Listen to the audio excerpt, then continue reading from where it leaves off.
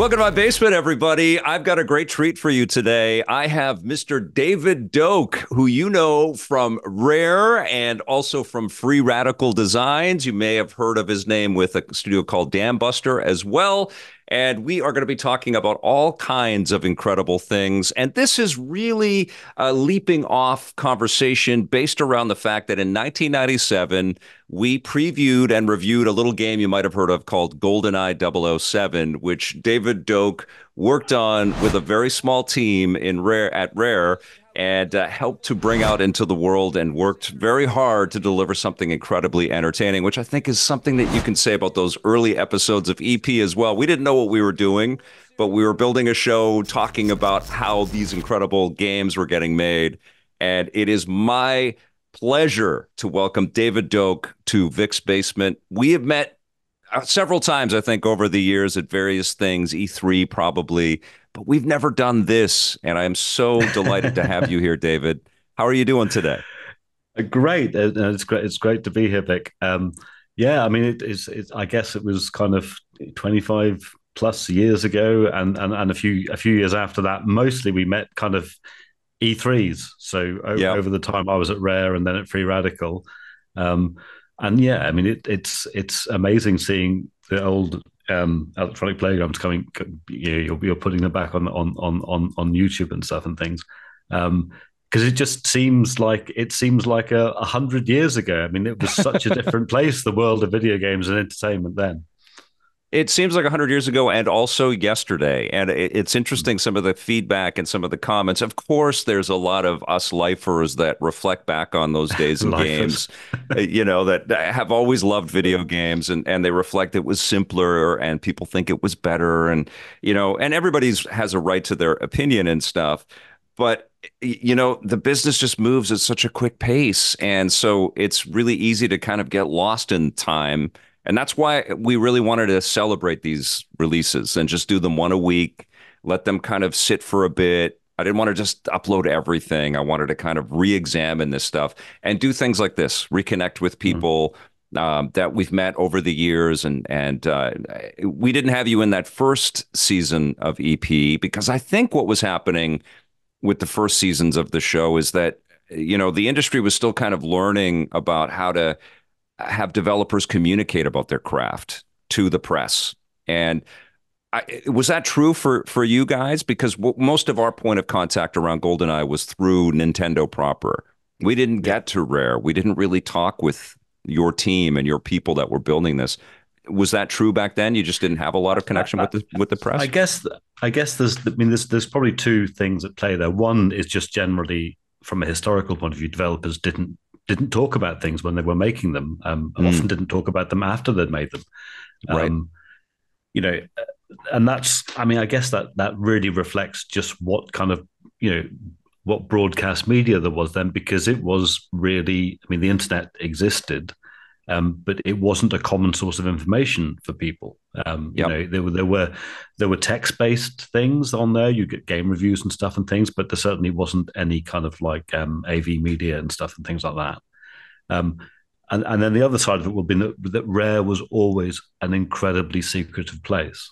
Right. Um, you know, the the T- Tim and Chris, the Stamper brothers, they even when they were Ultimate Play the game and they were doing the kind of like you know Spectrum C64 stuff back back kind of you know in the in the 80s they they they had no kind of public facing thing identity other than the games and the brand I've um, never met them. I've never met them at all the E3. Yeah. And I've been to all the E3s and covered Nintendo top to bottom and Xbox top to bottom, but I've never met the Stamper brothers.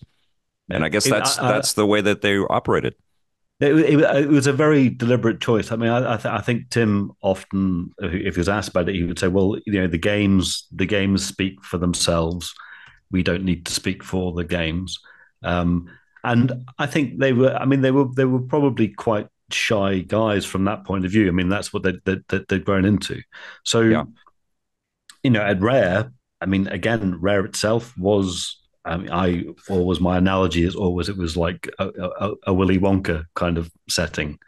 You know, there was a there was a gate, and behind the gate there was a drive, and there was a farmhouse, and you don't see what goes in, and you don't see what comes out, and then every now and again these amazing products would be released and would just go internationally just to transform people's you know experience. That's amazing.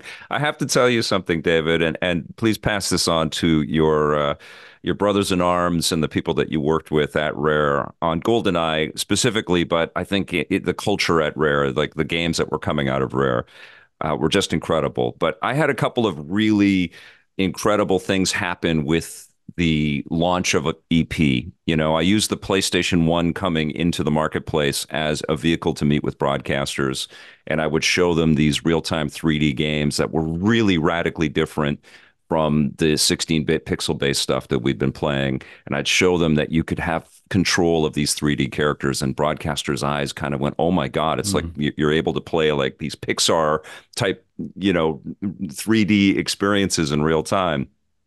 But we launched in 1997, which was, of course, the year that GoldenEye came out. And it was absolutely um, just this tailwind of eyeballs and awareness and people kind of cluing into the fact that this medium could be profoundly impactful and also could cross over in really substantial ways. And certainly up until that point, there had been this kind of dismissiveness in game culture around, mm. um, you know, licensed games and licensed properties. But GoldenEye changed the script, flipped the script. And the other big thing that happened for EP is when we went daily, it was in 2008 when it became like an entertainment magazine with its heart around video games.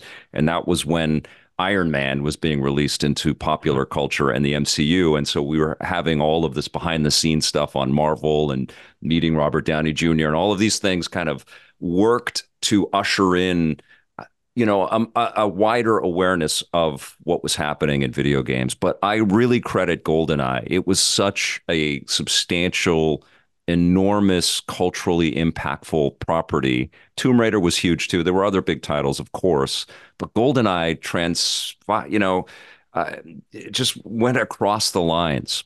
And I, I'm wondering if you felt that working at Rare, or if it was just on to the next thing with you guys. Well, it, I mean, it was it was incredibly important to everyone on the team because we, I mean, you know, as as been revealed subsequently. I mean, that was the first game that almost all of us worked on. You know, we we yeah. all come to. I mean, we we were all games players. Um, I mean, Martin Hollis, who was team lead, had worked on Killer Instinct before, um, but mm-hmm. GoldenEye was the first thing he was in charge of, and everyone else, it was their first. It was their first rodeo. um, so, Wild. I mean, we were, and and I guess you know, in in terms of the kind of the team and how we fitted into Rare, we were also we had been we we'd all been recruited to work on 3D games, um, right? Or you know, or work on that generation. So um, we were all a little bit older than the average kind of um, person started at Rare, I guess. Um, and we'd come from various backgrounds. Now, I came from a science background. Um, Martin and Mark were kind of like maths, comp sci kind of thing, and that was unusual. Um, Brett and Karl had been, I think, in Bournemouth doing kind of some of the first kind of tertiary, you know, digital art kind of degrees because that wasn't a thing um, right. at that at that time. That kind of career path. Um, so, you know, it, it, wasn't it for us. It was a kind of new beginning as well. Right. Um, I think I mean it was interesting what you just said about about I mean I hadn't really thought about that kind of um, you know it was in some ways it was the, the, kind of birth of the cool in games because they were yes. moving away from being I mean games were up until then video games were toys and yep. I, I, I th- a thing I used to say to people was you know when they asked you what, what you did I said well I work in video games um, but that's not something that you can have a after dinner conversation about right you know people people talk about film they talk about novels they talk about music you wouldn't have a dinner party where people talk about video games because it was just like that was kids stuff yeah. um, and, and, and you, you mentioned PlayStation. I think PlayStation, Sony entering that arena was really important. I mean, certainly in the UK and, mm-hmm. and Sony Europe, they definitely wanted to place games, the PlayStation 1 games, PSX, were being placed as a thing that appealed to an older audience, and there was a club culture thing. A lot of the mm-hmm. advertising, mm-hmm. things like Wipeout, is a very good example. I mean, that came a, a little bit later. Well, it was at launch, but um, the the score, the music side of it, you know, you could play.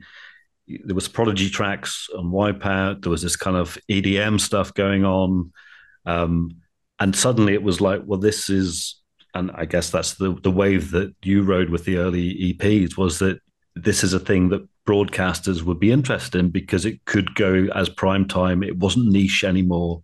Yes, it was, it was major stuff. Yeah, and that was the thing that I was always um, uh, in conversation with people about, right? Because there was this uh, uh, right from the beginning with television, there was this this animosity, I think, a little bit towards video games because video games replaced TV. You know, the yeah. television as a product just became a conduit to other entertainment that the game that uh, broadcasters mm-hmm. weren't really privy to. But I, I tried to explain that these were storytellers, and this was the new way for people to communicate, not not just about the experience, but also about the making of it and the culture around the making of it. And uh, thankfully, people listened and it worked. And we had a nice, very, very nice long run with lots of great partners. Uh, over the years. But your point about the dinner table conversation is what drives me today in 2024, because what I'm seeing is the absence of that. And there's been this relinquishing uh, and almost like a waving of the white flag from the video game publishing community to let um, uninformed people with good intentions but people that are on the outside of things and uh, we need the fans we need all of that stuff but they are they're kind of like they're they're carrying the water about telling the stories about video games. And the games industry i think has also retracted a little bit from the momentum it has had to allow people to let us know who's making these things. And there was this great momentum prior to you know YouTube and Twitch kind of taking over when when documentaries were being made and all kinds of content was being made, getting into the world of games. And then suddenly there's been this reversion back to almost the fanzine type culture where we're well, it's, giving... the, re- the, re- the reaction video yeah, it's the reaction video. It's the simplest form of just, and it's all product based. And so that's what's driven me, you know, my whole career, but uh, over the last while is to connect with people like yourself and to have conversations and, and to humanize this a little bit because I want people to be inspired to do this more. You know i want i don't want them to be youtubers. I want them to be game makers. I want people to see that eh, you know it's not easy and I know you have anecdotes about how difficult it was to build GoldenEye and other games, but it, it you know, it, well, I think it's a beautiful medium, and I, I'm really curious to hear, you know, someone that's gone through massive hits and starting a studio and running teams mm-hmm. and seeing a studio close and building up brand new IP and going through all of the the hurdles and experiences that you have, how you feel about video games today you know, and how mm-hmm. how you feel about the medium and, and its potential and, and its opportunity for people today. It's interesting that I mean, talking about how you know games and kind of discourse about games, you know, did manage to break through to a certain level in the media. A, a anecdote, which is just from yesterday, actually. So my my my younger daughter Daisy is just doing her A levels here, and um, and one of one of her subjects is English, and one of the um, one of the coursework things and exams she's doing is is about Gothic literature.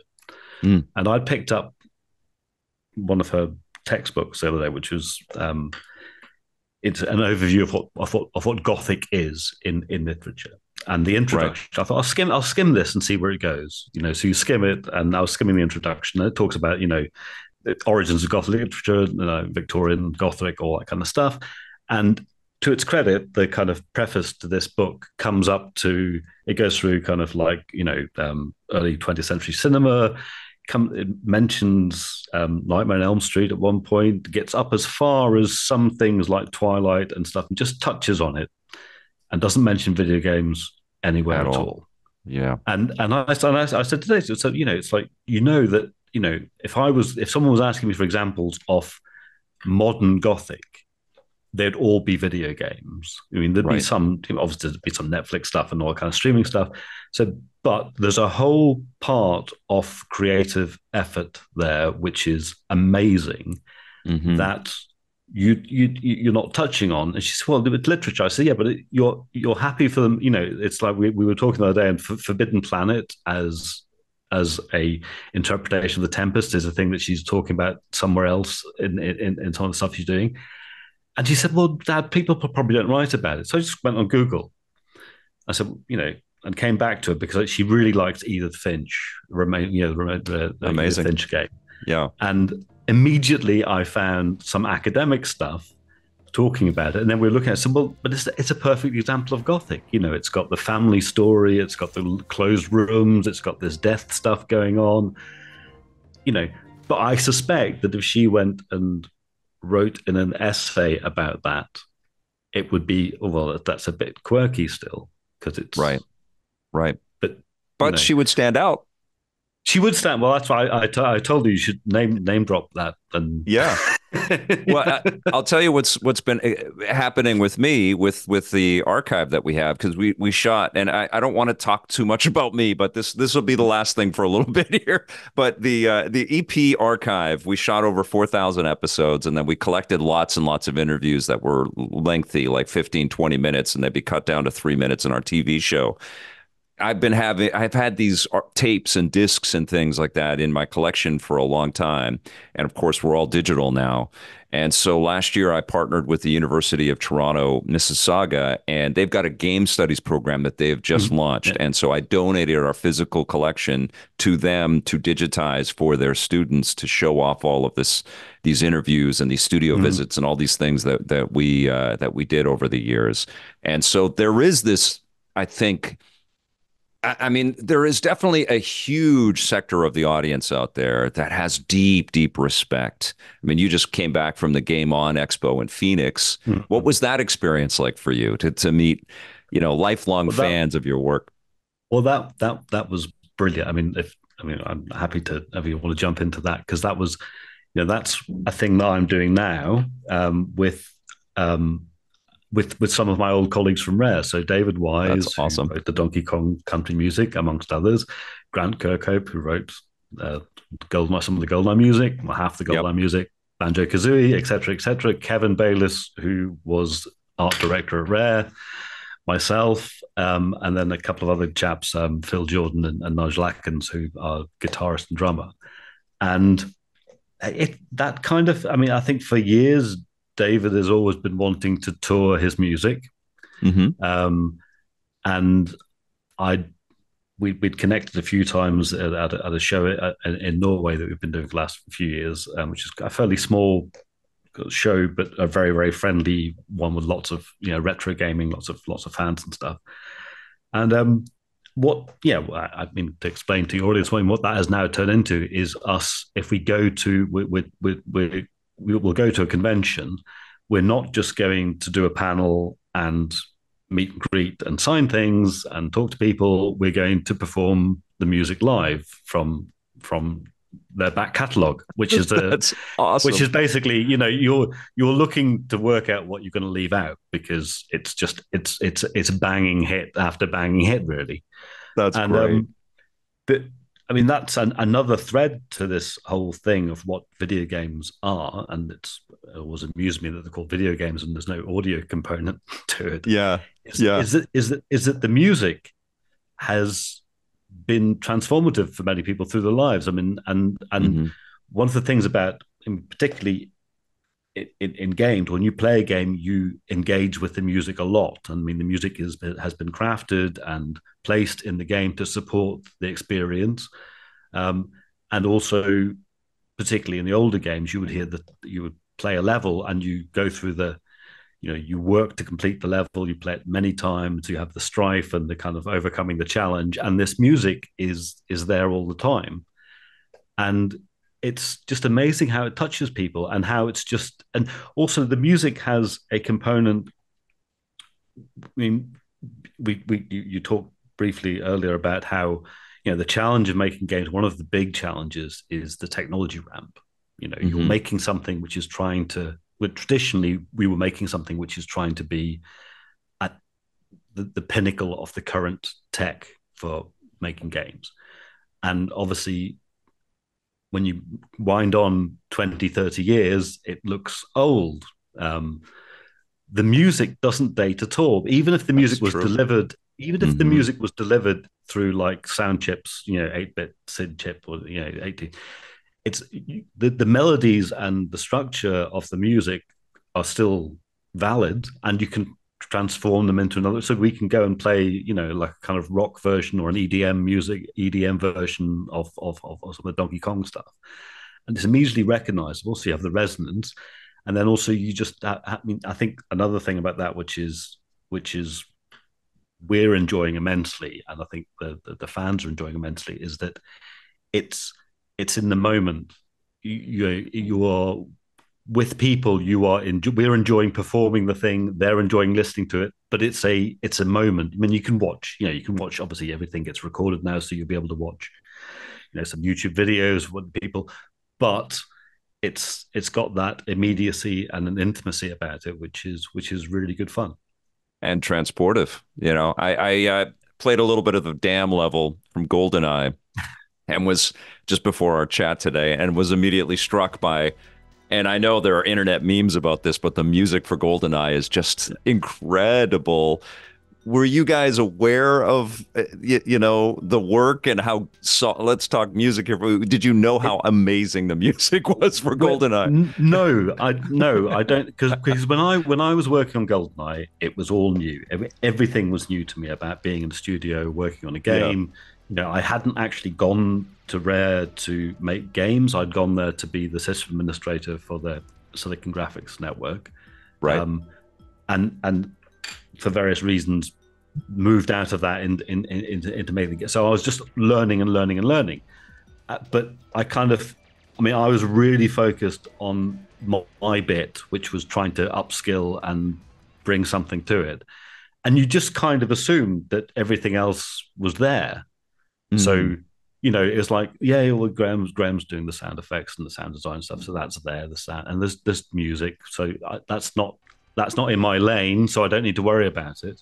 Right. And then and then later you realize, wait, wait, you you know, you had this amazing level of excellence going on, and you know, and but then but you know, Graham would come and ask, "What do you think about that gun sound?" Sounds good. do, do, do, do, do, do, you like the sound? Yeah, do you like the sound on that that the, the track for that level? Well, actually, we've been turning it down when we were playing because we didn't play with you know you know you, right, you, might, you might you're testing you it. yeah. yeah, you're, you're you're playing, putting stuff in. You might not actually have the sound on because you know right. we we get you know only occasionally. You know, you're in a shared office, so if everyone's got the game blaring out at the same time, um, you know, it would just be annoying for everyone. So you turn the sound down because you're not worried about the sound at that particular point in time. Graham Norgate always had this really, I, it was such, it's such a, a, a clever comment. It's like, he would always say, it's like, you know, if you go into the options on the game, there's an option to turn the sound down or off. So there's no option to turn the graphics off, is there? Why, why, why, why, why are we second? Why, why is our, you know, our, our work is something that you feel that there's a need to, you know, or turn the gameplay off, turn the AR off. yeah.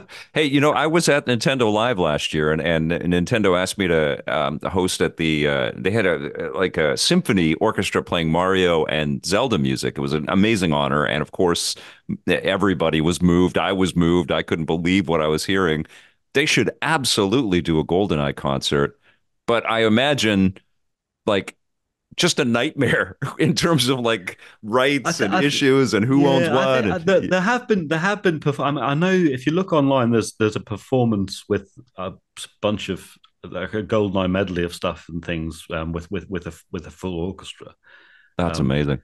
I mean, but again, another thing with the music side of it, which I, I sort of watched a kind of like critical video about the other day, which was again interesting. It was saying mm. that um, in the music world now, in, in, performance space. You know, it's, it's, it's, it has kind of become a bit monolithic. You know, there's there's Taylor Swift and there's all of this, and there's stadium arena stuff and things. Yeah, and then you know, a, a, lot of live music is now slightly under threat just due to the cost of staging and insurance and right. that kind of stuff and things. Yeah. Um, but a really thriving thing is kind of um, like band based covers, kind of slightly jazzy improvisational stuff around the music. Mm-hmm. And and this video was saying that, that, that video game music is the new jazz standards totally. because people because because people know the music really really well. Yes, but I think because they're used to having reinterpretations of it, where maybe the scoring is different because it's moved away from being played on the on the original hardware and stuff. Yeah, so yeah, they're, yeah. they're they're receptive to listening to a interpretation as opposed to wanting to go hear a covers band just doggedly do something. Totally. Um, anyway, yeah, and that was another thing that happened in Phoenix, which was just great fun. We we had we were joined by um, by Shotty, who are this kind of like um, duo who do some game covers and stuff and things. Joined on, they, they kind of guested on a Diddy Kong track. And that That's was a real, you know, it was a buzz for them, buzz for us. And we had Robbie. So you're jazzifying and improvising off yeah, of familiar yeah. music. All of it, though, because it's live, right? I mean, that must feel amazing. Yeah. That's so well, cool. It's, it's, so, what do you play? I play bass. Oh, that's so, so that's cool. Only, and so that's only a thing I've been doing. I, I used to play. I, I, played guitar kind of recreationally for years and years. Um, a couple of years ago, with some friends, um, a neighbor, uh, and, and, and some local friends, I got involved in playing in a blues band, playing playing bass. Right um, and then and then and then I guess it was 2023 or 20 uh, beginning of 23 David said, "Oh, you know what? I'm I'm I'm getting to go and and, and gig the music in in Chile at this um at, at the show there." And I said, "Do you need a bass player? Because I can play bass a bit now." That's awesome, man. did you guys ever do anything like that back in the day when you no, were? Did you no, ever jam no. or anything? No, no, no. And and and and I again, I mean, Dave, David Wise. I knew David um, at Rare because mm-hmm. I would mm-hmm. occasionally go and bang my head under his desk sorting out cables and stuff for him when I was doing sysadmin. But we never worked together on anything. Right. So it was really only like kind of 20 years later we we kind of hooked up through being at cons together and mm-hmm. developed a friendship. Um, so yeah, so that that's all. You know, it's all kind of um, later life that, stuff. we're, you know, I know that people that are watching and listening want me to get into each of the specific games that you worked on, and we're going to do that. But it must be surreal for you because you were in it and you you know, it's the same for me too. It's like you can't really see what you're doing. Like you can't really know what this is all going to mean or all the twists and turns that this is going to be for your life. It, it, must be surreal to kind of reflect back on all that because eh, you probably have this immediate callback to how difficult moments were and how much of a struggle it must have been to just finish these projects and get stuff published and but now you have these lifelong friendships and all of these other different connections across all of this. Well, that's. I mean, I, I guess there's, there's kind of two threads there. One is is, and you alluded to it yourself, is that when you're in the moment of you know, you were making those shows, we were making the games. It you, there isn't a moment to do anything else. It's just frantic, yeah. frantic, frantic, and and also at that time there was no attempt to document that process. Certainly right. rare, you know. Yeah. And, and and and even it's it's funny. I, I, remember looking. Someone asked me the other day if I had any um, pictures of of Free Radical, and I think I've got one picture of me. Wow. In the studio, which just happened to be someone took a Polaroid for some other reason.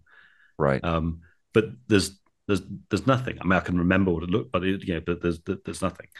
Um, so there's that kind of part of it, which is that you know that you were so you were yeah everyone was resource and time limited, so you were just doing that. So mm-hmm. you didn't really have any time to think about it. You certainly didn't think that the thing that you were creating had any kind of permanence to it because it was mm-hmm. a game. You were making something that would be out and it would sell for a couple of years and then it would be gone.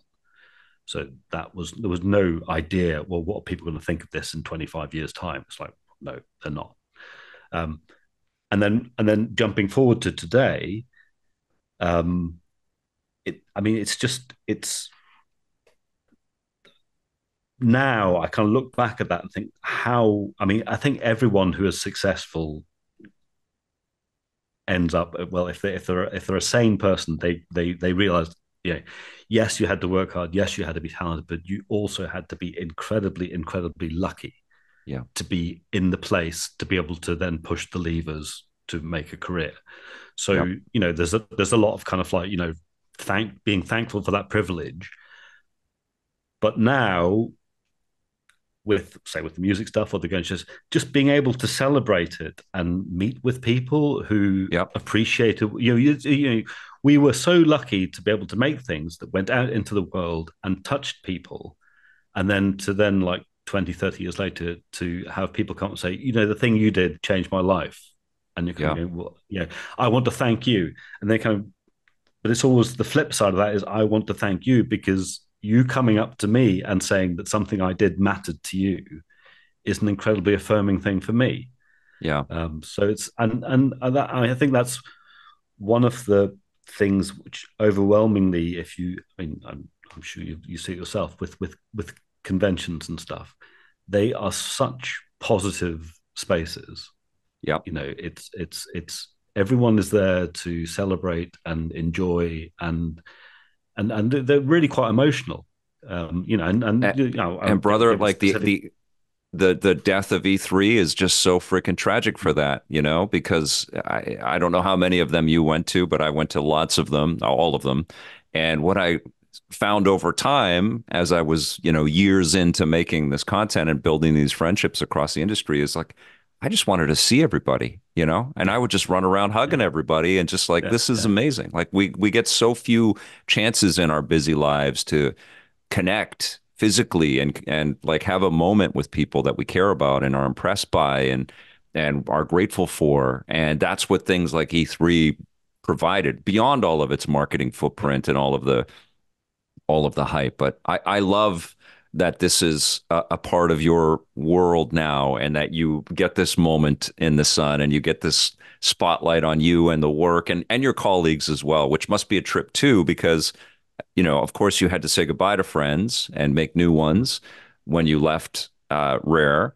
Um, and I bet there's a, a, a thought like, okay, well, you know, I'm going to be too busy and I'm not going to see those people maybe ever again. But then you do, right? was, when we were in Phoenix, it was it, it was um we, we, were we were having a great time. We were we, we were meeting people and we had basically our stand on the show floor was you know, it was basically myself and and Kevin and Dave and Grant, and Grant was uh, again a great bunch of guys because there's a lot of messing around and taking the piss and stuff and things. And and and Grant, we, we were like signing things. Grant, Grant kept on doing this to me. He'd, lean over to me as I was signing. He said, "Yeah, yeah, they want you to sign like you know, you know when you left when you left Rare, you broke my heart." And he'd whisper that in my ear every time. It's going, and then he'd look at me go, Um, okay. Well, we're gonna get into we're gonna get into leaving Rare. Let's talk about Rare for a second here, okay? Because I know that you started at Rare and you had an intention. You worked on Donkey Kong Country 3, terrific game, terrific franchise, but not in not, not making the game, or or how how did no, I, what did you I do was, on Donkey Kong Country 3? I so I came to Rare because well, I mean, I'd always loved game. I never really thought I'd have a career in games. I was in, I was doing a postgraduate, uh, postdoctorate actually at that stage in, in, Oxford University. So I was a, a, scientist. I worked in protein structure determination. So you we truly used, are Doctor Doak. I am. Yes, I have. I, I have. I have a doctorate. Yes, I have. That's amazing. Doak. That's great. Um, so I was, as part of that, I was looking after Silicon Graphics workstations. So mm. at the time, so at the, at the time, nobody had, you know, we take it completely for granted now. Nobody had 3D accelerated graphics yep. capabilities anywhere. Yeah. Yep. And, and and and some of the places where they were used, where these kind of high end machines were used, was in aerospace, stuff, and so aerospace simulators and design in the movie industry. So Jurassic Park and all all all, the, the burgeoning um, VFX digital VFX in, industry, um, and then Silicon Graphics were also working with Nintendo because Nintendo were making a 3D console and SG made the hardware.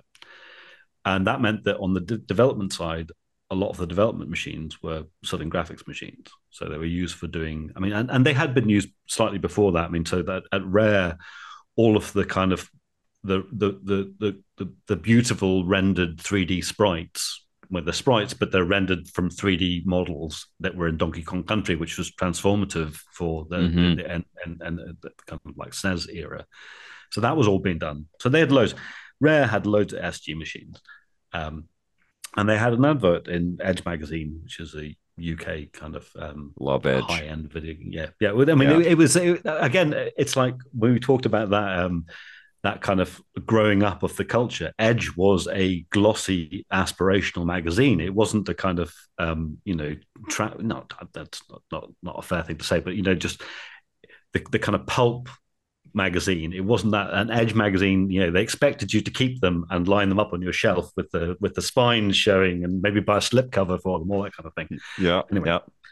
So Works I, I yeah, yeah. I mean, and very. I mean, the, the covers. You know, like, like heavy, heavy, heavy uh, card card covers with like gloss varnish and foil and everything like that. You know.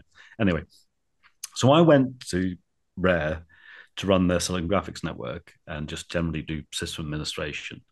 So like Donkey Kong 3, I'm on because I was doing because I helped them with some, you know, just run of the mill kind of system admin stuff. I used to I used to do a bit of testing in my spare time because we my office was up where the testers were. So if you, if they needed an extra pair of hands on something, um, like I remember a Killer a couple of times. You just just can you, just come and play this back play, play, it like a person who didn't know what they're supposed to be doing would play a fighting game just to check that we haven't got any you know someone just spamming it randomly is going to trigger attacks and stuff or whatever. Um, yeah, so that's what I went there to do. But then I, it, again, the Willy Wonka analogy, it was like being the guy who works at Willy Wonka's chocolate factory who changes the fuses. That's great. So it was like, but I I think everybody what had an important position though, right? Like yeah, yeah, when you're yeah, that small, you and it, I'm sure there were lots of all hands on deck. Yeah, but, but right? it was kind of yeah, but but you had this thing where there was the dev teams at Rare, and they were all in separate barns, um, kind of isolated. Well, not not isolated, but you didn't generally walk between places. So I I simultaneously had had this incredible privilege, which was I could go anywhere. Right. If somebody if somebody needed something done, I would just go. So you know, my key opened all of the barn doors at Rare at that point. Um, so that was amazing. That's a rare position at the company. Yeah, it was that, a rare you know, position. And, and, it was probably training you to, uh, you know, maybe weren't aware of it at the time, but to think holistically about how a whole studio can operate and yeah, yeah, you know, I, giving I, you the yeah, stepping I, stones to doing that. True, true. That that's that's that's a, a good point. But also, it was you were kind of on the other side of the glass because you weren't in the team. Sure. So you were watching, you know, watching these people doing amazing things, and kind of. And I think also over the first few months I was there, one of the things that kind of, you know, the penny was dropping. It was like, well, what I could do that. I mean, my my opinions about these games are seem to be as valid as anyone else's because I can talk to people about what they're doing, right? And you know, and and and you know, I I have got some domain expertise just through being a fan and and, and liking games. Um, so I was going to leave because I kind of it was frustrating. Mm. In, in, in, in, you wanted to get ways. your hands on development, yeah, yeah. and and yeah. And, I, and, and some friends had kind of offered me uh, positions overseas in in, in um, going back into science, um, and and then Martin Hollis and then Simon Farmer, who was then studio manager at Rare, kind of got wind of the fact that I was thinking of leaving, and they're saying, "Well, what? Why? Why would you leave?" I said, "Well, I, I'd, I'd love to work in a game." And Martin said, "Well, you can come and work in Goldeneye." Amazing. we'll, we'll, work. We'll we'll work out later what it is you're supposed to be doing, but I'm sure there's something we can find for you to do. well, it, you know, I've, I I checked out your Moby Games credit, and I, I Moby Games is really terrific. Yeah, I really like that. Uh, there's that much data on team names. I know it's not always perfect, but I just love that it's there for the games industry. Um, and you're you're listed as screenplay on GoldenEye, and I know that that is not the totality of everything that you did there, mm. but also writing in video games in the mid '90s, not really a thing. There, you know, little bits and pieces, maybe some RPGs, maybe you know some Black Isle stuff or something. Um, I'm sure Amy was doing quite a bit of writing over Crystal Dynamics and stuff. I think she might have been at EA back then. Yeah. But the the idea that you were a, you know writing the screenplay it, talk talk to us a little bit about that. You were actually deconstructing the yes, film and kind well, of making it more game. Yeah. So, um, I, I, mean, the credit for the beginning part of that. I mean, again, everyone on the team was doing different things and sure. doing multiple things. Um, I mean, Dun- Duncan Botwood was the original designer on Goldeneye, and Duncan did a lot of work in I mean, you know, the, the game follows the film, but in some ways it doesn't follow the film because it has levels which are not in the film. So it's like filling in story. Yeah. So like the, the silo, you know, the silo, for instance, the silo is filling in the backstory of Ourumov and stuff, and it's not in, you know, and Bond, you know, and and then we have the Severnaya is split between these two times. So Bond went there when it was under construction, and then somehow went there again later, which is the film part of it. So this it, it plays around with that. So there's yeah there was there was there was a strong and clever framework had been built for that. Um, but then the development prior to when when I when I came to Goldeneye, yeah, a, a bunch of the levels had been built the core gameplay worked, the shooting and the first person stuff, and the AI was there to some extent. Um, I mean, Mark Edmonds was kind of gameplay and tools programmer. I mean, wore many hats, but I mean, the AI system that he, he built was was had incredibly forward thinking foundations because people weren't really thinking about AI in that way at the time. Yeah, yeah. So we were setting up, and we used to call it again. We used to call it setup, level setup you know, all, all every level in the game had a, a setup file, which basically was the data for where everyone was and where all the items were and all that kind of stuff. So, and it was kind of, I guess, a, its simplest form, it was like set dressing the level. So the, the, mm-hmm. the graphics would have been built by you know Karl or Brett, um, Haley Smith. Um, so the level existed, and then it was like, okay, well, it's got we've got a paragraph in a document somewhere. And it's funny, I never saw the game design document for Goldeneye until about 10 years after the game it, that shows you Whoops. the importance we, we, we, placed on game design documents. Yeah. But, but it, you know, it had to echo the film in some cases or echo an idea for a level. Um, but we didn't actually have a recipe for how we would do that. So, I mean, for instance, the, I mean, the the the the, the facility is, is, is a really good example because it, it had it presented a number of problems. Um, so, yeah, that's in the film, and so yeah, there's a dam first of all, and then he goes down, piton gun comes in into the toilet. So that had been built out. That there's a toilet and there's some corridors and there's some gas plants and then there's that room at the end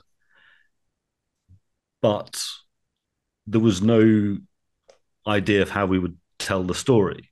Mm-hmm. So things like um, objectives, things like the kind of pacing of the setup, patrolling guards, all that kind of stuff. Those were all kind of just, you know, well, maybe we should have patrolling NPC scientists who don't do anything, who who are non-hostile. So that was then that get put in the AI that's that that level has at the end of it has this fairly complicated, certainly by the day's standard, set piece, but it's interactive in some way. You go in, you meet Trevelyan.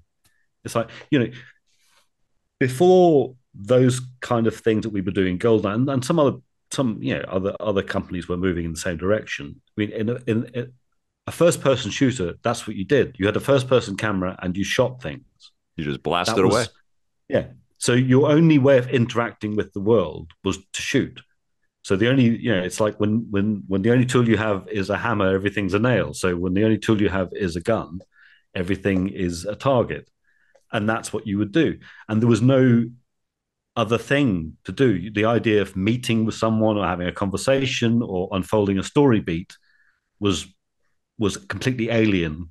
Totally. So we had to develop, and I mean that's that's one of the amazing things about particularly that period of time, kind of the the 90s and that generation that that you know the, the, the move to 3d was one thing i mean the move to 3d was insane because that just it completely transformed you know two different prior, industries prior, prior, to prior to that you had yes. a you have a page and you have a camera looking at a page and you move the page around yes you don't go what's behind the page or you don't go and look over there yeah so suddenly that and and that's like it's a step change in complexity, and there's no there's no there's no established protocol or vocabulary or systems for doing it. Camera control. What, what's camera control? The player never had to look after the camera. Yeah, and and you see it. You see it. I mean, it's it. You, you know, the N64 controller. It's got those four little yellow buttons. Well, they, they're the camera control buttons. Yeah, that's that's that's what they were, and and it's it's very obvious in Mario, in Mario sixty four, that actually is explained to you in the tutorial part of the game. You've got little like you on the on the thing. There's a little guy holding. Here's the. This is the camera. Yeah, you're going to need to be worrying about what that's doing, and then obviously as time went on, people, you know that that that didn't have to be something that you had to explain because it was just it was that's how the games were. And and and the sophistication of camera control and how it becomes more yeah the the ease of use and there's less friction in it and all that kind of, anyway that's that's another. But and and but that's ha- that's happening at the same time as the graphics complexity is changing because you've got to build these 3D environments at the same time as people are saying, well, maybe a game just isn't running and jumping or shooting. Maybe mm-hmm. there's another component to it. So you've got this. It's it's like the Wild West. You've just got this explosion of opportunity and space, and people. I mean, I I, I love looking back. I, I, think, in particular on PlayStation, because there were, there were probably more titles on PlayStation. Yeah. If you look at those early just forays in in completely different directions, like Jumping Flash. Amazing. What, where'd that come from? You know. Yeah. Yeah. And and and and then when you start getting like Metal Gear, obviously, but there were other things like Metal Gear, like Siphon Filter and stuff, and things which were just going off and doing their own wild and wacky thing. Um, and in some ways, I mean, it's a shame because the main, you know, that that was the mainstream at the time, and, and kind of what you've seen now is is you know because of the budgets and stuff with AAA, you you know, people don't make wacky experimental AAA games anymore because they right. can't justify the expenditure on it. That that space, however, that kind of creative itch is often fulfilled by a lot of indie stuff now, where you get more. Yeah, Alan Wake two last year was was a great. Uh, return to that experimental yeah. stuff, you know, that expensive experimental stuff. But everything that you guys were doing back then was exp- expensive yeah, yeah, in, ter- in relatively. And I think also because it was brand new technology and a brand new kind of way to think about video games, that allowed you to be a perfect candidate to kind of enter the business. And I would imagine, even at Rare, because there were a lot of 2D specialists, did you see colleagues kind of you know, say that tap out and say that's enough. I can't do this 3D stuff. No, I'm no, out of here. I, I, I, well, I, I, think I, I, guess one of one of the team. I mean, I, it wasn't that they they tapped out. I think I think that for the people who had worked on the Donkey Kong series of games, yeah, the, you know, um, I, I'm I'm sure there was a little bit of oh, we got to jump over it. We're really we're super familiar and super happy with this space that we're in. Yes. Um, so kind of it's, it's interesting because they it was only really kind of banjo, I guess, was by the time because that that that that team first of all went through the the the Project Dream, which was ultimately just yeah, well, not not can, but it kind of morphed into banjo. The stuff that I'm most proud of in games that I've worked on has been the has been the narrative stuff, the storytelling. Finding a space for doing storytelling in games has been a thing that has evolved enormously over the time. It's like a stealth thing. You're trying to entertain the player at the same time as you're kind of like trying to push the buttons and get the information in there and yeah, get the reveals and get the prefiguring of stuff and all that kind of thing. Yeah, there's um, a UI component to it. I, I, feel like narrative is a bit of a misnomer, or, or, even hmm. storytelling. Like it's it's not really that in games because you're kind of story designing at the same time, right? You're having to have this dialogue with you know the people that are working on engine and level design and game design elements to uh, support it and to work collaboratively so that the story doesn't interfere with the play and that's such a tricky thing to do you know and i think one of the great things about the storytelling and the design of goldeneye and i don't know if you were a part of some of these decisions but was uh, taking a look at changing objectives based on yep. the difficulty that you chose and the mission or the agent sort of level that you wanted to be at the beginning. Brilliant stuff. And I still remember Ken explaining that to me, Ken Lobb at Nintendo, explaining that to me, and my mind was blown. And well, it, it, it, that that came about by a, a strange route because we had the levels mm-hmm. built or levels being built, and we had this, and we had that the, the, the dilemma I described earlier. It's like, well, you just you start here and you got to get to there. That's the end, and then you just shoot people in between. Yeah. What else do you get to do that is interesting and provides variety? So we just we basically took every level and we would just brainstorm as many things as we could think of. That's cool for you to do. And then there's obviously, you know, you know, there'll be things which are not possible. Like the film has a lot of driving in it, and yeah, and you know, we at times were toying with the idea that you'd be able to drive some things like the like the truck at the start um, of, of the dam, like um, in in in, in St. Petersburg, there's there's Ourumov's car is sort of driving off and things. I mean, the, the the one bit of driving that you had to do was the tank because the tank yeah. was pivotal in the movie. I mean, it's in all of all the publicity stuff and the trailers for the movie would have that that tank careering through St. Petersburg. And in Gold Goldeneye, it's kind of funny because ba- basically you just it's you just wear a tank costume and pretend you're a tank. I'm, I'm a tank now. yeah, I, I, I, every once in a while I catch myself realizing that's how they're doing vehicles yeah. or horses and stuff in games. It's like, hey, you're, you're just speeding up the streaming, is what you're doing right now. That's cool yeah. though. um, but anyway, so we, we made up all these things, and there's loads. Of, I mean, there's loads of things where a, a favorite example of mine is because I can remember the day. I, I just remember doing it because it was like we we just had this keys keys, you know, partitioning levels with keys is a thing that you do. We have locked doors, yeah. we have keys, yeah. right? Yeah. In, in in Doom, the keys are explicitly red, blue, uh, yellow cards. Yeah. So that yeah. those doors. So we can't do that. We need to do something. And and then things like so like the Doctor Doak thing. Doctor Doak in the facility is a key. It's just you go here. If you go over here and do this, it's just you're you're picking up the key, and then the key opens the door. On the dam, that you go onto the dam, it's got that gate with a padlock on it. You should. I remember just just been there saying, "Oh, well, what can we do to make this more interesting?" And then said, Mark, "Mark, could we have it so that destroying a prop is linked to a door being unlocked?" Yeah, yeah, that's easy. Well, can we do it where the prop is, you know, and then Karl builds a lock and you put the lock on it and you shoot the lock. It's like, oh, you can shoot the lock, and then and then and then that becomes a thing because people hadn't seen it before. So then when they totally the game, man, oh, it's amazing. You come up, it doesn't tell you what to do. There's a lock on the. I've got a gun. Yeah, because you've got that, that's your hammer. Yeah.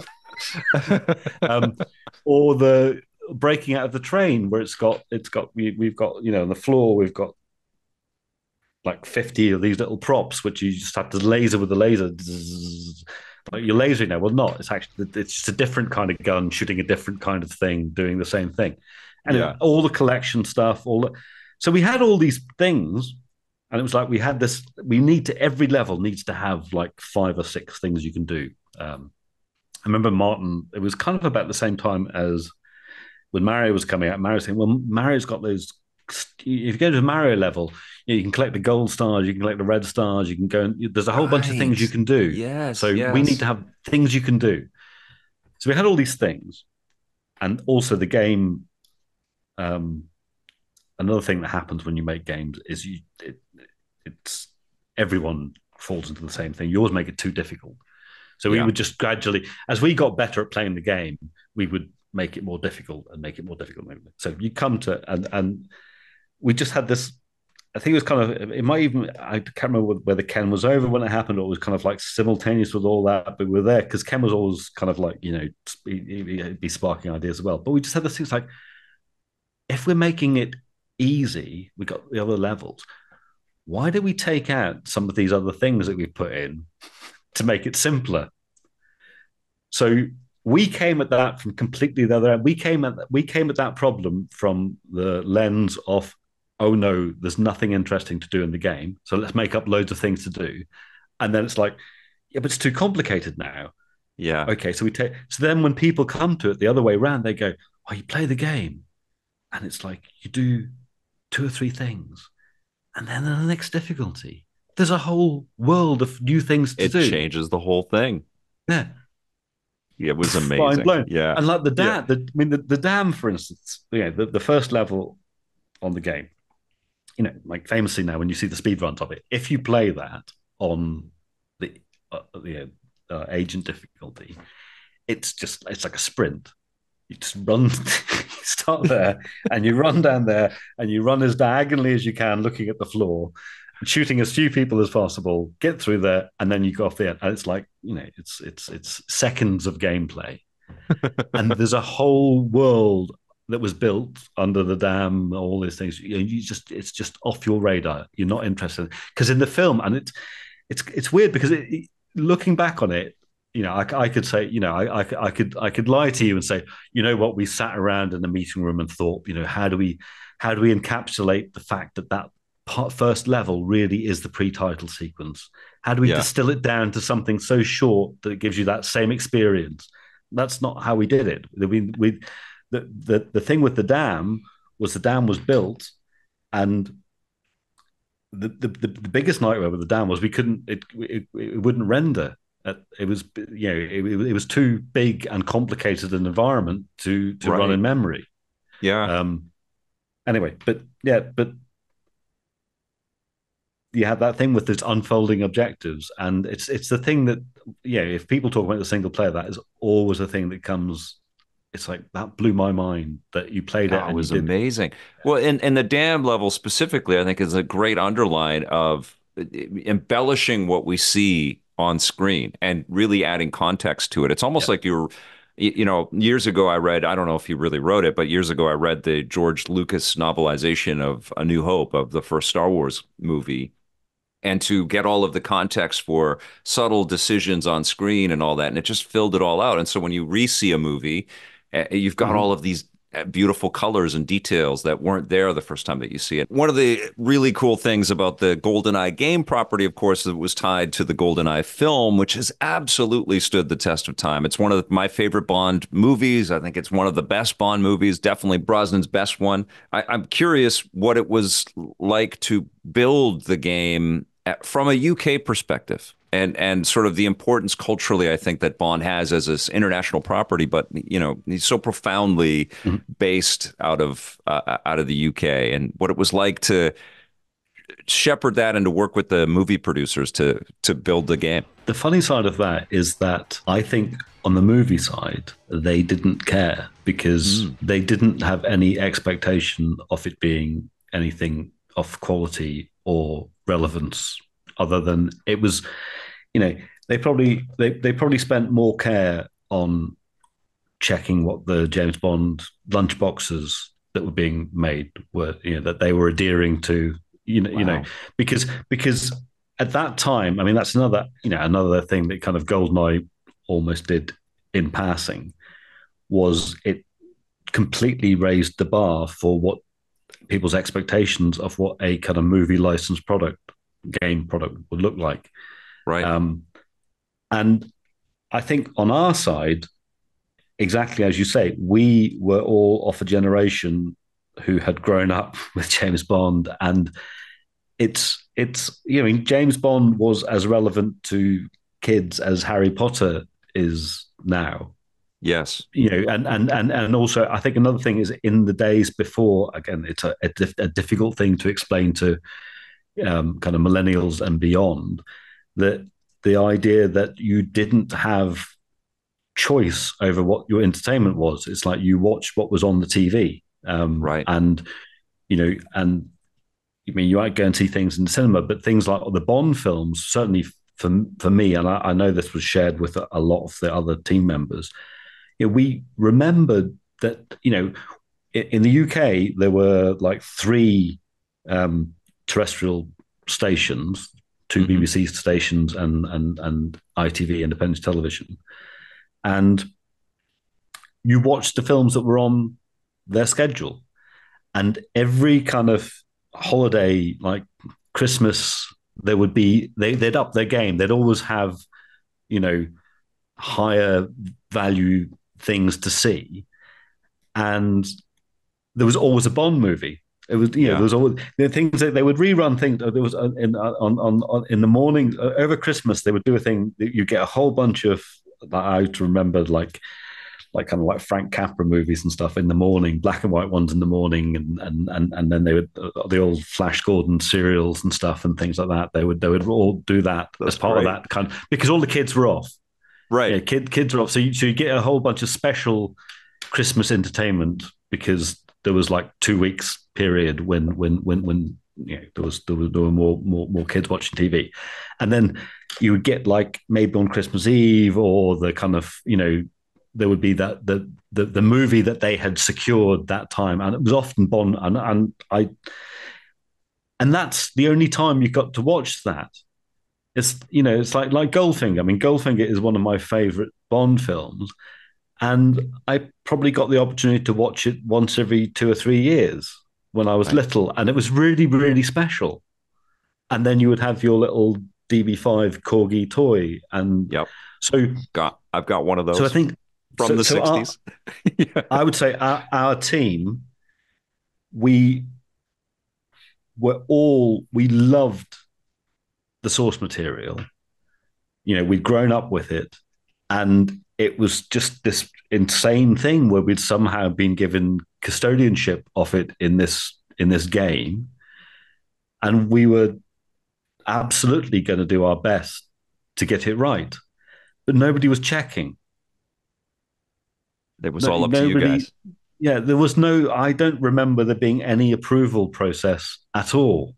Wild. Um, the one thing that did happen was late in the development. So, and also the the kind of um, you know, the parts of the, the, the kind of multi multitude of companies were involved with the Bond IP. You know, there's Eon, Danjaq, MGM, I think at the time. There's all kinds of weird licensing and stuff going on. It was only um, quite late. I, I, I remember when it was because I was at the time, the day that they came, I was setting up, setting up um, the as not the Aztec level, the the the the, the temple level. So that was again, we'd decided that that was largely down to I think probably Brett and and and and, and Martin early on going. We were allowed to use anything in the Bond universe for some reason. I don't know what happened there. Yeah, that was that was the deal that Nintendo had got whenever they signed up for this. So we we had a like a shopping list of you know like Mayday and Jaws and Baron Samedi and and, and Odd Job, Odd so Job. from other other movies. So we had Baron Samedi, and it was like, well, he needs to be a kind of a boss, and we had this Egypt level. So there was this. So, so all the main levels are being being done. The, those two levels, the Egypt and the Aztec, were set up really late because it didn't matter if they didn't get done; they could be cut. Um, so I was doing that, and these guys in suits came around because they were, I think, with from MGM, and they were there just to check what the process of the thing was and what it looked like. And um, and I remember the them, them coming and they were going, wow, yeah. Uh, and I think they were just surprised because it wasn't, I mean, presumably they'd had some exposure to what we were doing somewhere. Somebody must have shown them a video or something at some point. But, you know, I was saying, I was explaining, it's like, well, it's Baron Samedi. And, and, and the thing I'm setting up here is you kill him. You know, the, the, the, the shtick in this level is you kill him multiple times because he, he, he he's, a, he's a voodoo priest, so he can come back. And then at the end of the level, when you think you've killed him the last time, we're doing this cutscene where he comes up and he laughs, and you know you get to see he's still he's still alive, and it's a kind of like you know, and then it's going, oh, okay, and and it was. But you could just see it's like we didn't think. What are these people doing? These people are kind of like making some interactive movie here. What's going on? What, what, who, you know, they're going off. they're going off. They're going off on one so I was, and and and and I remember the, the, the, I can't remember the name of the guy, but he just going, yeah, that's really good. So yeah, well, yeah, we like we like, yeah, we, we know the movies, we we like we like the stuff. That's great. Um, and then I think, but then the feedback later was, okay, it's too violent. right. It's James Bond, an assassin it, with a license to kill. Too violent. It's, it's, too violent, and um, why has it got all these bonds in it? Why, yeah. why has it got Roger? Why, when Roger Moore is? I, I think the way they, the thing I remember is that I, I, can't remember where I heard this line, but the impression I got was that their big concern was Sean Connery would want money. Right. And when the other ones found out Sean Connery wanted and was getting money, they'd want money. Hey, I want some money too. And I, and I wonder if it's because Sean Connery's contract probably predated the actual advent of video games. So, you know, when you get these contracts now, which is when you sign releases, it's released for any Forever, all of these yes. media and any yeah. media that might come to exist in the next five million years or longer yeah. that hasn't been invented, hasn't even been thought of yet. Um, so that that might anyway. That's that's speculation. Um, that's so wild. That's so you had all the bonds in, but you had to cut them all out. That's yeah. crazy. So, and, and and and Brett Brett. I mean, Brett had lovingly gone because that was the other thing. In order to, in order to get the textures for the texture mapping, so you had to go and trawl through a whole bunch of stuff to find. I mean, I think some of them were like scanned from books and stuff and magazines and things like that. Right, because um, it wasn't just Google it up and yeah. you got all every angle yeah. of these actors back then. Yeah. That's amazing. And, and, the and the violence thing was was interesting because we were trying to make it as realistic as we possibly could. And sure. again, another another thing which was massively innovative at the time was motion capture. Right. You know, so Duncan and, and again, you just you see there, I mean, the whole fact you've got a small team, it's everyone mm-hmm. is a jack of all trades. Duncan yeah. was the motion capture actor, no training whatsoever. He just yeah, you know, and and and Brett was the director. And, you have a, a, a, mocap suite right at Rare. No, well, they, they, they, there was there was yeah there was uh, I, I, I think they may have gone off site for some of it, but it was it was again the the technology was dreadful. Yeah. So early motion capture, there was a thing called flock of birds, which was lovingly called crock of, which was basically a magnetic thing. She had this suit, which had a whole bunch of it. It, it, it didn't it didn't optically track things. It tracked it, it had it tracked ma- movement of magnetic in a magnetic field. It had some, I think it had some flex sensors and stuff. But it was yeah. like a, a neoprene suit with wires all over it and this big umbilical cord. And that was because they, they tried to they, they tried to use that for some of the motion capture for killer. It's like, yeah. But I mean, how how how do you do a roundhouse kick when you've got like, all of that stuff on, right? These cables yeah. coming out of you and stuff and things.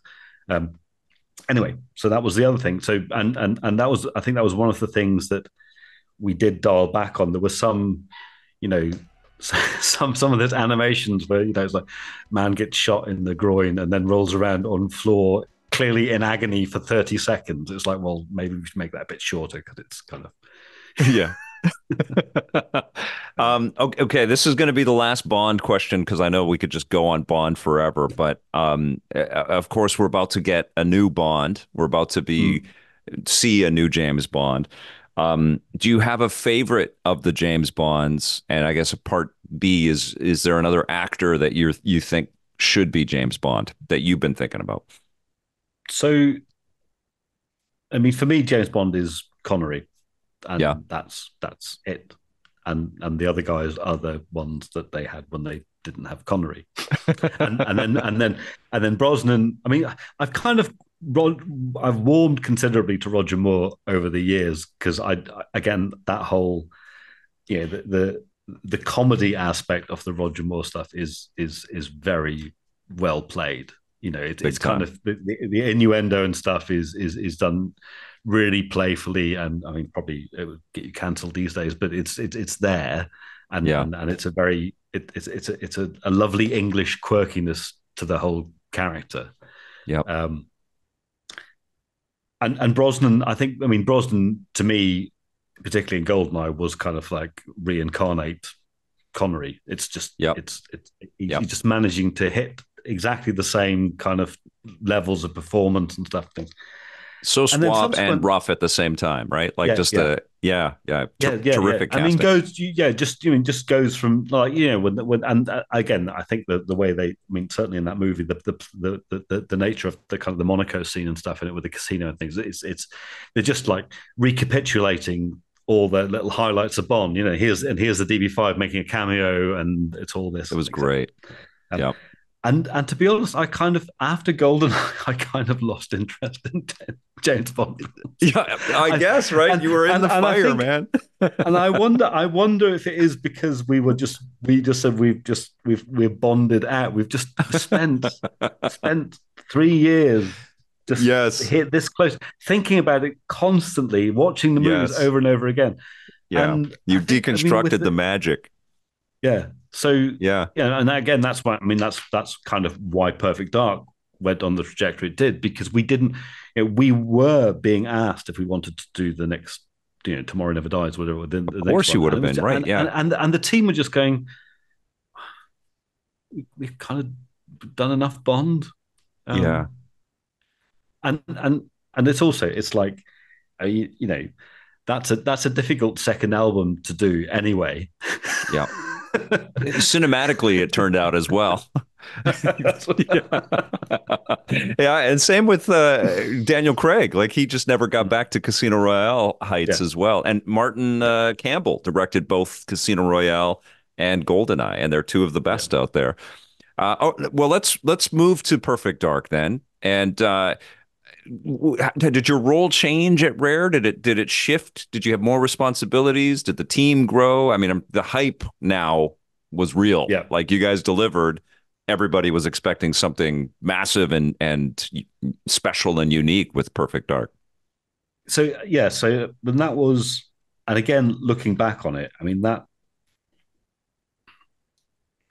you know, the the the the the, the, I mean, I guess we'd we'd earned our stripes, but the privilege was amazing. It's like Yeah. what you we, you know, what do you want to do next? Oh well, we'll make a sequel. We like making shooters. We but there's a whole bunch of stuff we want to do, and then yeah, we'll do. We'll just we'll just write a story for it, and we'll just make up a new, completely new IP. Oh, by the way, we can we we'd like the main character to be to be female, and you just got you know people going. Ah, I mean that that was looking back. I mean, I I, I have two I have two daughters now, um, Molly and Daisy. They're kind of like 18, 21 now, um, and it's kind of a matter of of personal pride that we stood up for saying why can why can't we have a female character? Because I Right mean, immediately it was like, yeah, but only only boys, but you know, all these get the the, Of course. the, the boys the boys games. It's like, but yeah, but if you look at any other kind of fiction, there's lots of lead female, and and we were particularly. I mean, for Perfect Dark, Martin and I were both big fans of um, La Femme Nikita, the kind of um, Yeah. film. And a big influence on me was there's a there's a Heinlein novel called Friday about this Mhm. kind of like assassin. It's a female character, and and I think also with Joanna Dark, we wanted it to be a credible female character, so we definitely pushed against any kind of overt sexualization of it.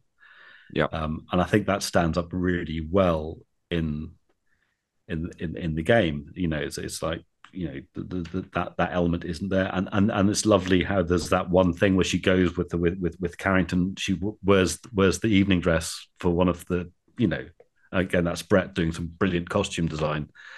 Um, but it's it's it's not. I mean, I, I, love Lara, but it's not what Lara was. I mean, Lara then was here's a character.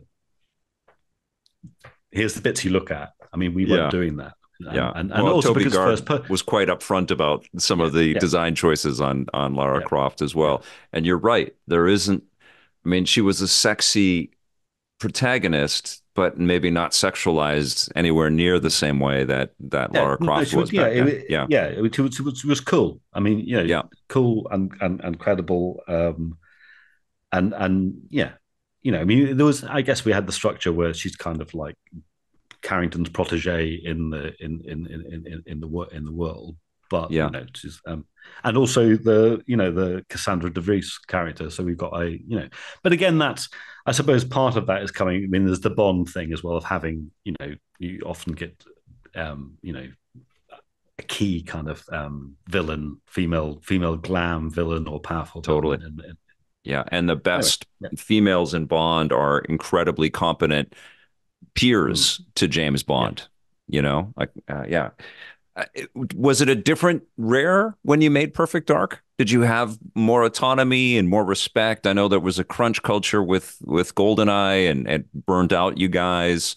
You know, I read the uh, the fantastic Guardian article uh, from a couple of years ago where uh, the uh, the writer was asking all of you guys questions, and there was it was a tumultuous time to get that game out there. Was it yeah, a different kind of experience when you when you started Perfect Dark?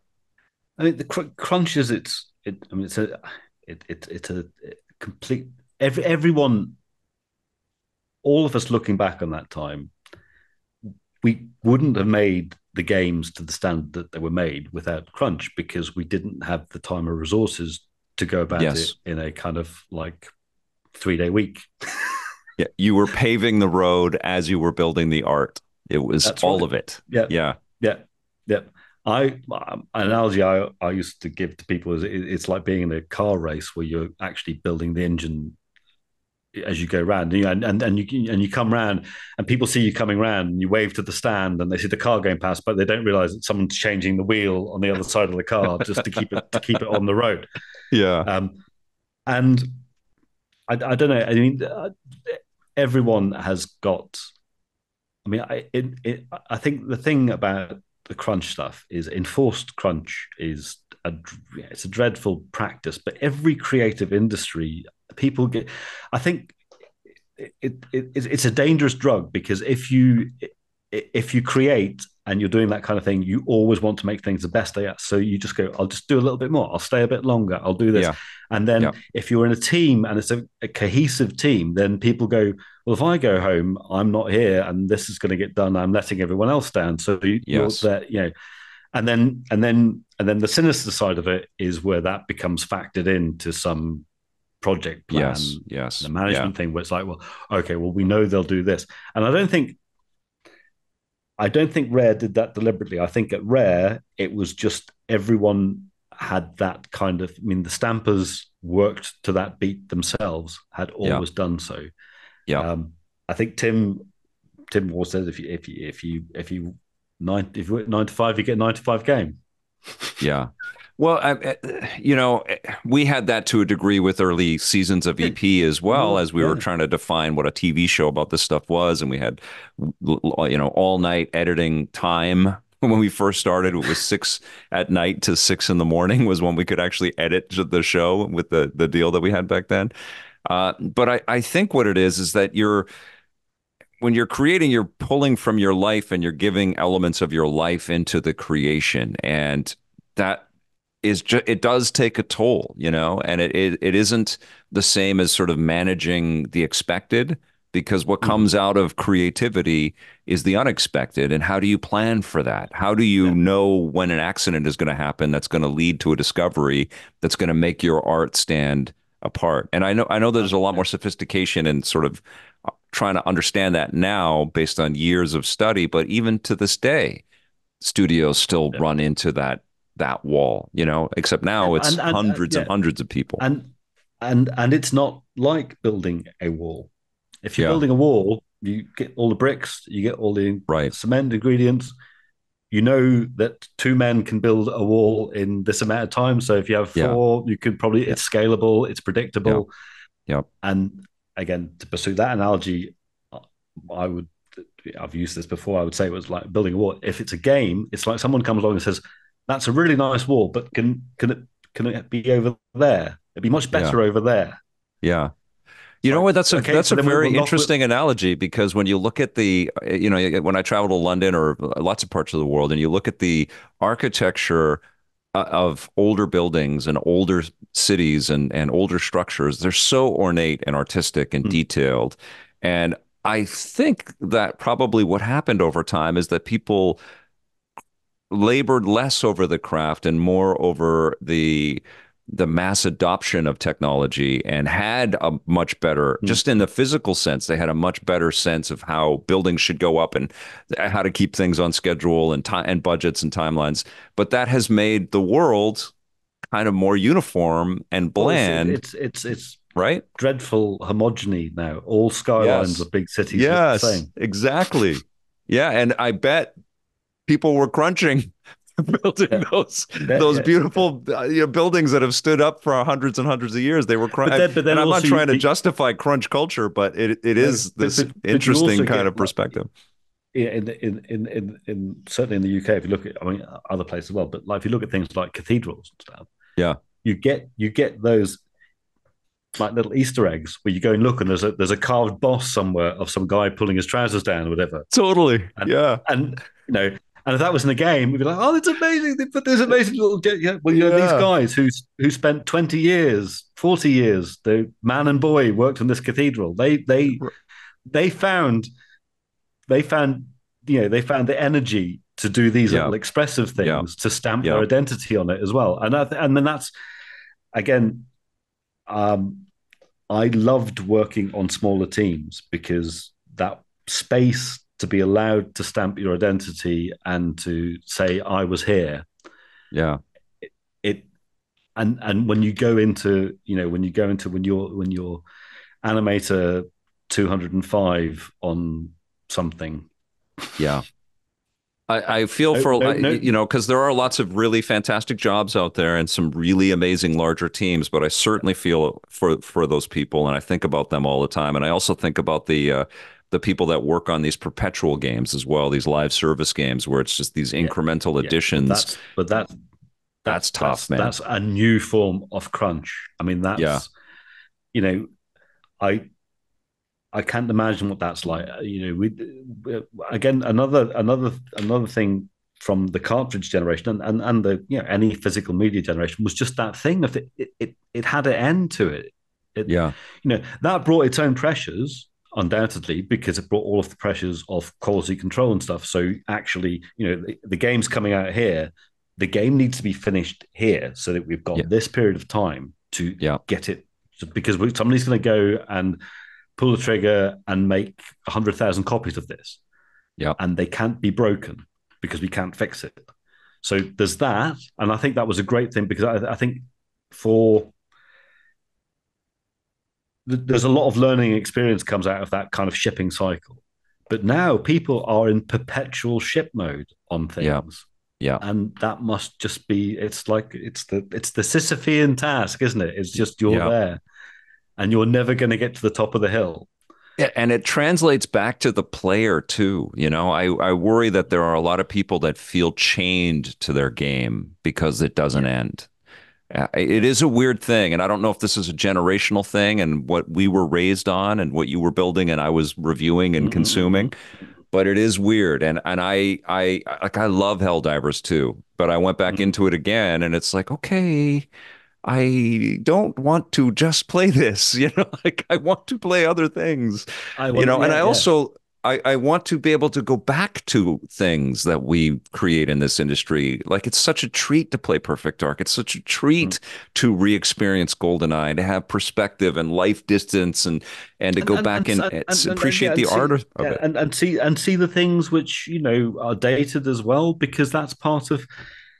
You know, if you go and watch old cinema, you know that's yeah. always that's interesting as well look at the pacing of old action films look at the how they open you know you you'll have something you, know, you go back to i can't remember watch something the other day and i was just trying to explain to the, the kid I, was, I badgered the, the, kids into watching it and they, yeah. they didn't they didn't stay with this i can't remember what it was but it started with the credits.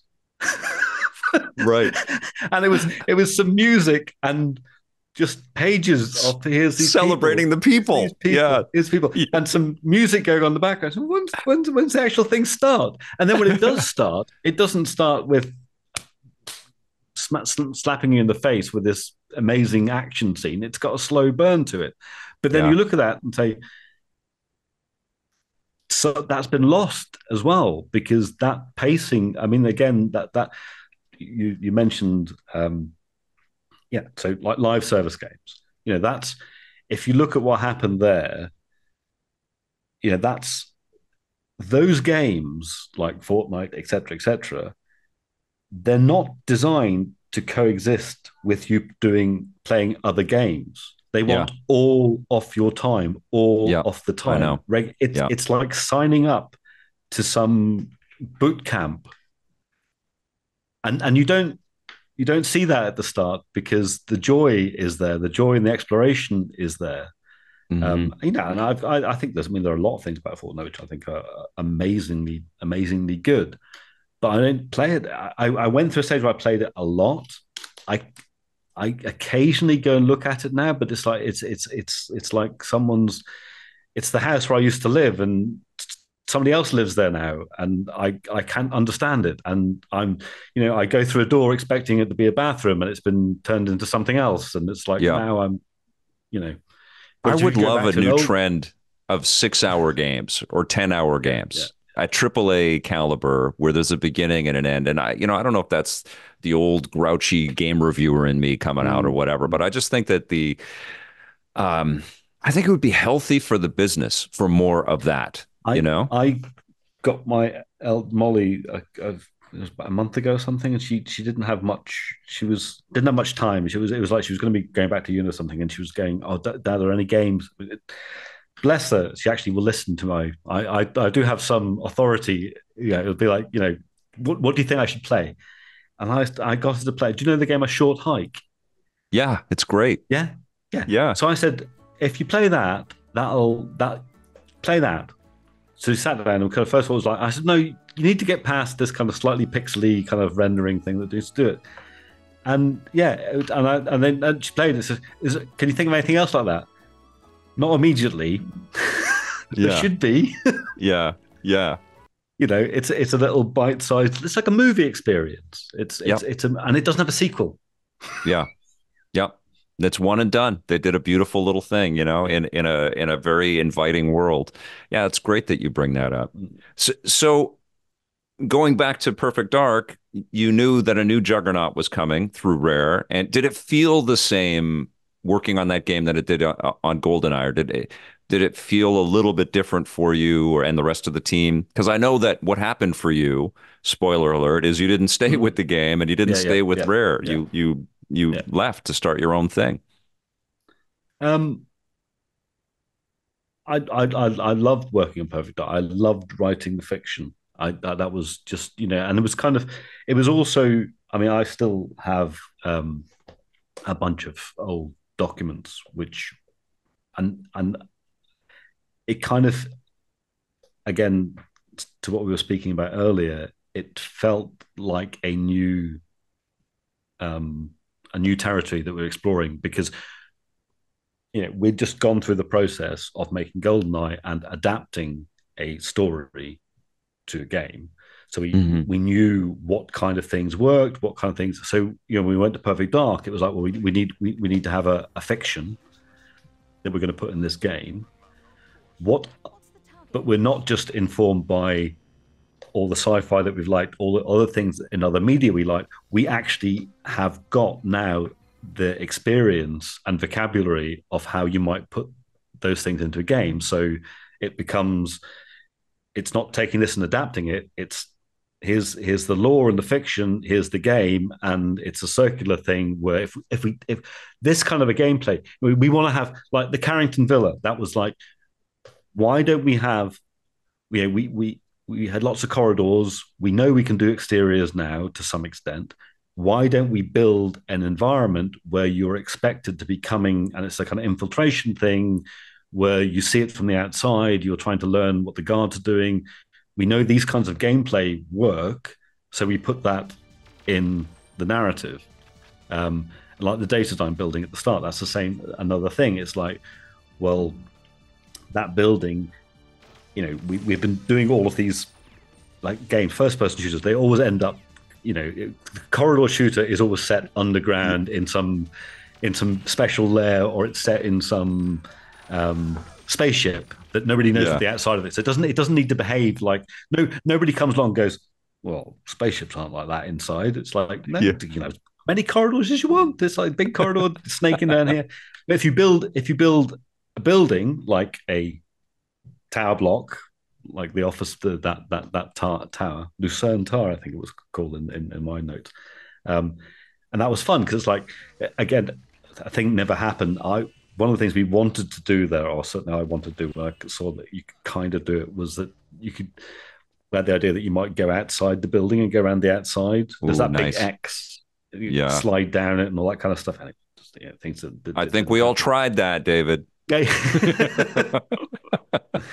um, yeah. So so so those kind of I mean, and and that was that was it was great, and and also you know we got to I mean there's there's a, obviously there's a bit there's a bit of I don't know. I mean, I think yeah we were talking about Bond having that slight quirkiness to it. Yeah, the whole Elvis thing in Perfect Dark. It's like yeah, it's it's kind of being serious sci-fi, but it's got this silliness about it, which is which is I think I think it's really good. It's kind of playful yep. and, and, and light, and it, and it can sit in there.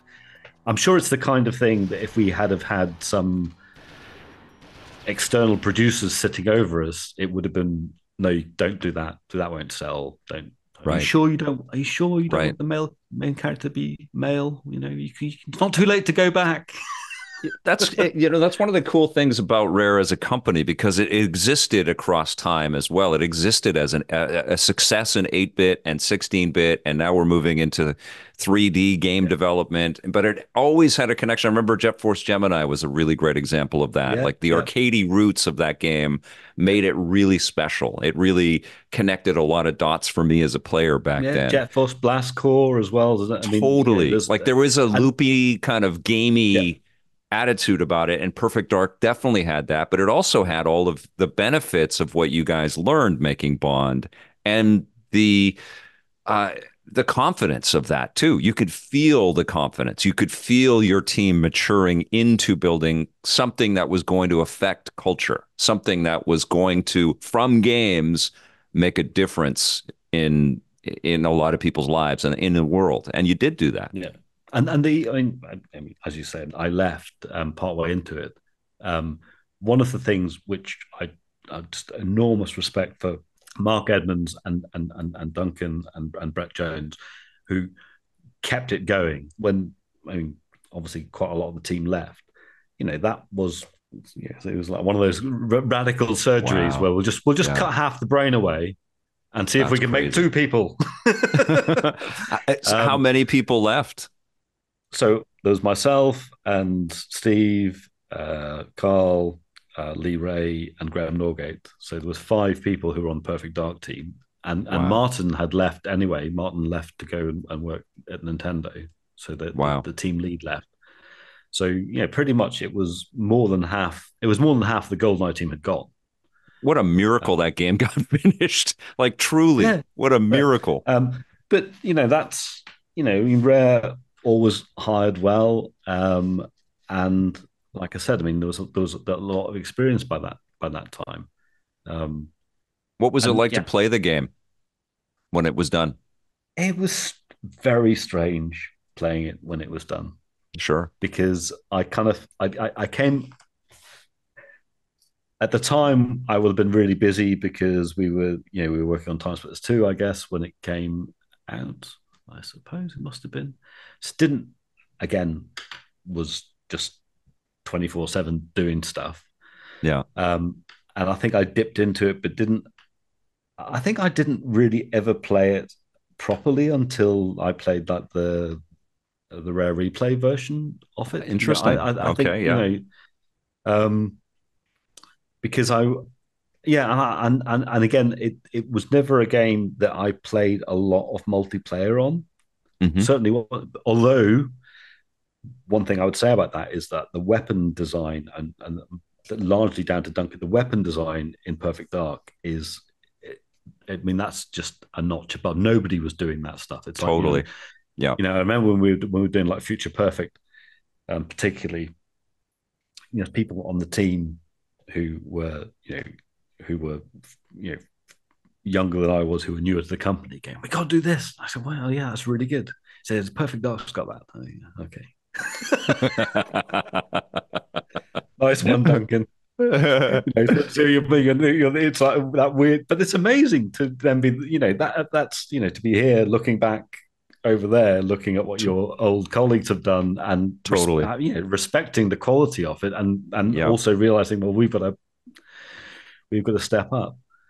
Um, well, you did do that with Time Splitters. Also, another phenomenal. I mean, God, I, a game maker is lucky to have one, and you've had several really big franchises. Time Splitters was something from your brain, or how did that sort of come into formation? No, so, so, so Time Splitters came about um, when we left Rare and set up Free Radical. The project that we were pitching to publishers was called Redemption the working mm. title was Redemption, and it was basically it was the story that became Second Sight.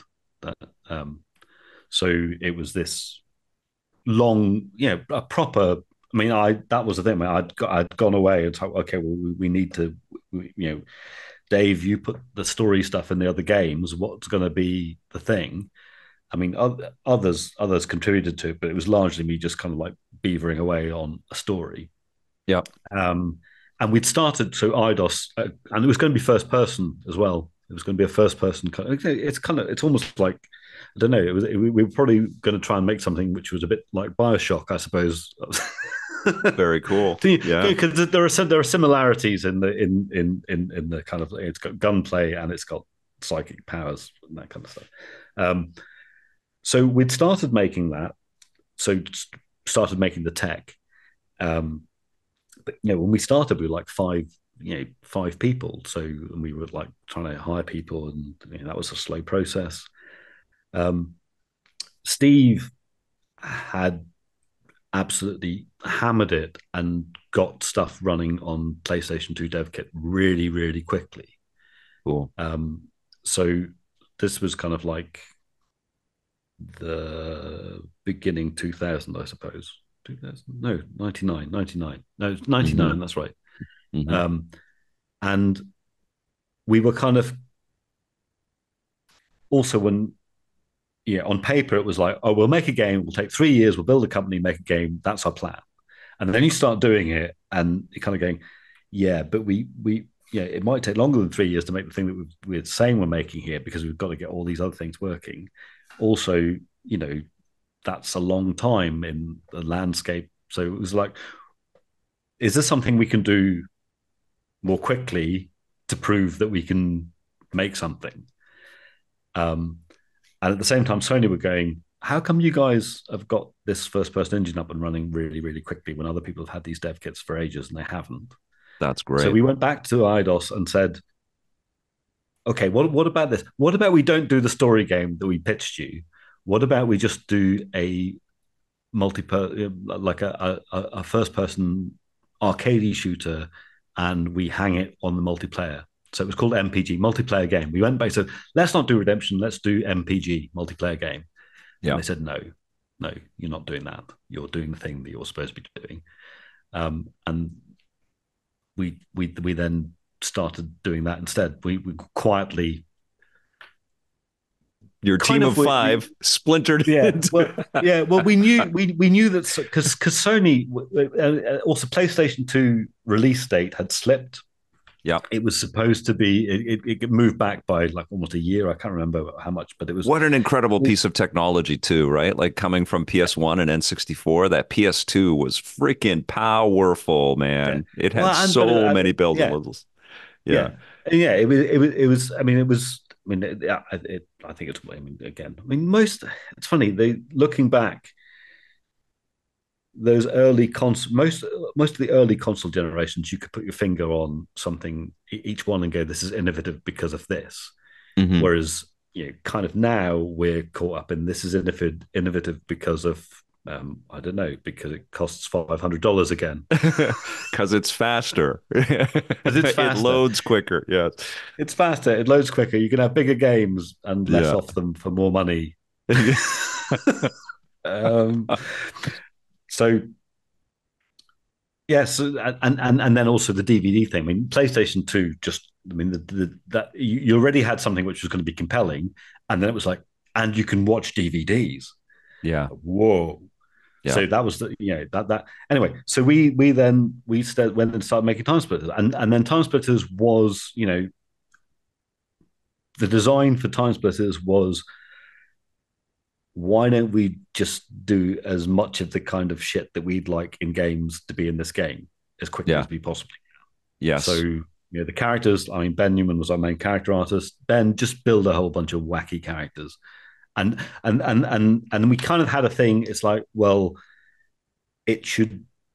Why don't we just steal movie genres? So we'll steal crime and crime, kind of action, um, sci-fi, horror, and then we'll do them in different time periods so that we can make an even bigger rod for our back. Um, and and that's what the first and and that and that but that time split is one dev cycle was 18 months from the day we started Holy being, crap. From, from the day we started the company with five people in a, wow. in, in a rental office. and you know that building a game and building a company are two separate companies in a way, yeah, right? Like they're two different jobs. Yeah, yeah, yeah, yeah. Yeah, yeah it really is. Yeah. That's amazing. How long did it take to make GoldenEye? Um, so I was I, think the dev cycle for GoldenEye was like three and a half years or something. Um, that, to put it in context, it. yeah, but, but yeah, but but again, also that was you know that was I. I prototyping and building the concept and yeah and and, yeah. and also making a game for hardware that didn't exist etc right. etc making a 3d yes. game when nobody had ever made a 3d game before yes making a game where you didn't know that the controller was going to have a stick on it. So freaking ambitious. And then Perfect Dark loses half its team, and which so is why which is why it took longer to make. yeah, of, yeah, right. It, it, well, I mean, little did you guys know that you were, you know, it, it, it was all in the sort of northern English part in, of in, in in in the Midlands. So Free Radical was in in in Nottingham. Um, uh, Rare is in Twycross, so it's not very far away. It's near near. So you're building some seminal first-person shooter action out of this area. You know, like you're defining it for the big the world in a lot of ways. Well, that was, so but cool. that was also the case. Also the case with Rare. I mean, Rare was it was a farmhouse with international level teams competing with each other. Wild. You know that that's you know we weren't. We often joke if we, if, if when we meet up and we're doing like panels and stuff, people ask well, what was like at Rare. It's like, well, who you know, who were you keeping an eye on? So we were keeping an eye on the guys in the other barn because we we, we weren't so interested good. in what people were doing in Japan or we wanted to beat those guys. We want to do something better than those guys.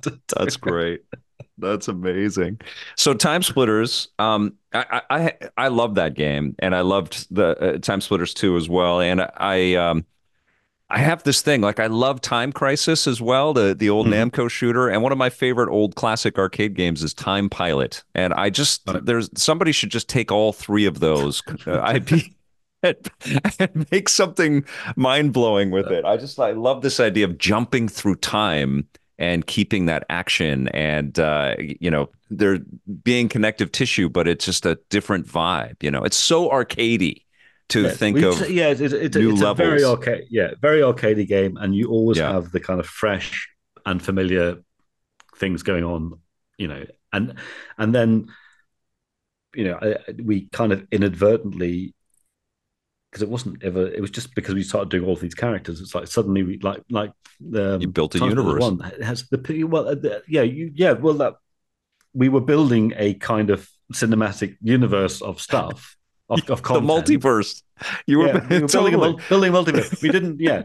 Um, and and and I mean, Time is one. It's people can say, "Well, I didn't have any story." I said, "But it, but it did have story because each each of the little things you go into, the yeah. world you go into, they've got an implicit." Yep. They've got characters in a world that they belong in doing a thing. Yep. It just happens yep. that you jump into it. Um, it, it, was, was a successful of... game, man. Like it was yeah. a real like I got it playing it back then, and uh, yeah. you know another seminal piece of of uh, interactive storytelling. Although EA didn't know it, was what they were doing with SSX and all the characters that they were yeah, throwing in there. Like they they were implying this threaded kind of like mm. value to all of these different links and it was very similar in this game especially yeah. when we're looking at a thing at the fidelity that time splitters was as well like it was a massive leap in terms of production quality and what was rendered on screen for us as players like it was incredible yeah. that that transition I, I, from that that generation I, I think i think particularly i mean time splitters 2 i is is that Time Splitters 2 was probably the easiest development cycle I've ever been involved in because that's amazing. We we we, we did TS1, we hit that PlayStation 2 launch date in Europe, which was a massive achievement. So the, the company was like, well, these guys can do it. We got a bunch of experience together. We kind of knew what by the time we'd shipped Time Splitters 1, we realized what the game we were trying to make was which was Time yeah. Splitters 2. So yeah, we immediately yeah. went into making it, kind of barely skipped a beat. Um, and there's just a bunch of well, one of the things that really sticks with me looking back at it is I love the cutscenes in Time Splitters 2. Yeah. Book ending cutscenes because they they're incredibly well animated and directed, um, and that was largely down to James Cunliffe, who was a kind of head animator for them they were really hard to make. They were technically an absolute ball ache to make because all of that facial animation stuff it just didn't exist. I remember yes. we yes um, was the, the the, the the Sony guy who's just left um, Jack Jack oh it's Jim Jim Ryan Jim yes. Ryan yes. okay yes Jim yeah Ryan. yeah that's right yeah. yeah. And we, I remember going with, we had a demo of TS2 with the dam level with that intro cutscene with the, you know, the, the, the two guys with the torch in the in the in, in the, and, the, and the zombie kind of like jumps out on them. And remember taking that to um, Sony America uh, with some wireless people, and they we just knew we were doing stuff which was we were like punching so far above our weight because we were doing something. They were looking at going, "This is great. How did you do? What, what did you use to do this?" Well, we just made our own stuff and did it. It's like that's great. Okay.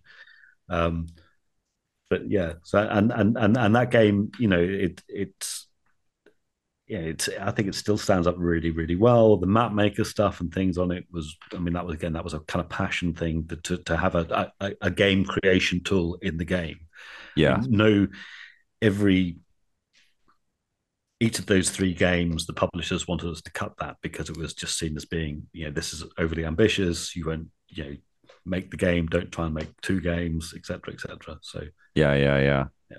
yeah. yeah it, it, it's a it it's amazing how how uh, innovative that whole experience was, and also the lessons that I think you were learning, but showing the rest of the development community as well. Like it was a very public thing that you had left Rare and and other mm-hmm. team members had left Rare. You were starting your own thing, and you know what's prevalent now and what's what people are aware of now are like free radical was brought back again mm. and you guys were working on time splitters and i'm sure this is incredibly raw but uh, there's been so much carnage across the game industry and unfortunately free radical was mm. was part of that carnage can you take us into kind of what happened and and how was it handled and and uh, and what I mean, happens it's, it's, now i mean well uh, you know, I mean, the, the you know, the original Free Radical went under. We were working, you know, so after Time Splitters Future Perfect, we worked with Ubisoft on on on Haze, which, I mean, that was. It's it's funny looking back at that time now. Nobody wanted to make Time Splitters four. Then we wanted to make Time Splitters four. No publisher yeah. wanted to make it, and we just constantly had one of the things was it's like nobody wants quirky nonsense. Yeah, yeah you know the demographic for shooting games is is militaristic kids who just want to shoot things. And it's like right. game, call of duty. yeah and, and and yeah call of duty. I mean and and and we constantly had this you know again we went through it with with ea it's like time splitters what what's the x? What's the unique selling point about your thing? So, well, right. unique selling point out it is a variety. Now, you can have variety. Oh, well, mm. it's fun. No, we can't have fun. People like it. It reviews well. It sold lots of copies. No, none, none of those is an X. It's just like well, I mean, like that's it. it's. I'm not trying to throw shade at EA, but that's pretty clear on because look at all the licenses that they have, all the properties yeah. that they have, and they just yeah. don't serve them up again. Like it's insane that we don't have a new SSX or a new Road Rash well, yeah, or a new well, Burnout. They, well, they went they went they went through a really strange period of being. Um, incredibly innovative again like with you know dead space um mm-hmm. they did they did that dante game i mean that's that that's, that was great that absolute mental. yeah, it was. um, and anyway, um, so yeah, so I hadn't been making games from. I mean, that was like 2008 or something. I mean, we were that's something we we we we we, we got seduced to the dark side. And we went went to, went. We we'd always said we we should only make our only always make your own thing. Always make your own thing that you own because that's yeah. that's your building and don't do licensed stuff. And then it was like we had the opportunity to work in Star Wars, and that's everyone's going, oh yeah, oh yeah, yeah Battlefront, yeah. yes, oh yeah, so yeah. Did, so, yeah, and and and there, I mean, we got caught up in a whole bunch of stuff. We got caught up in just a worldwide recession. I think we got caught up in Lucasfilm selling itself to Disney mm. because that's that's you know they, they they went through. I mean, Lucas Lucas the Lucas empire didn't just destroy us; it destroyed LucasArts at the same time. It totally, just, you know, yeah, because they had this thing. It's like, what does that what does that thing do? It makes games. Is that really predictable? Like the the movie? No, it's it's like ten times more unpredictable it, than you think it is, even when you know it's yeah. unpredictable. well, let's get rid of that. That's just a cash and now they're going right back into it again. Now yeah. they are. Yeah, I know. Well, that, well, then, well, then they're sitting around going, how come everybody else is making money off our license? Yes, and it'll be a cyclical thing. Give them, yeah. give them another five years, and you know, anyway. Yeah.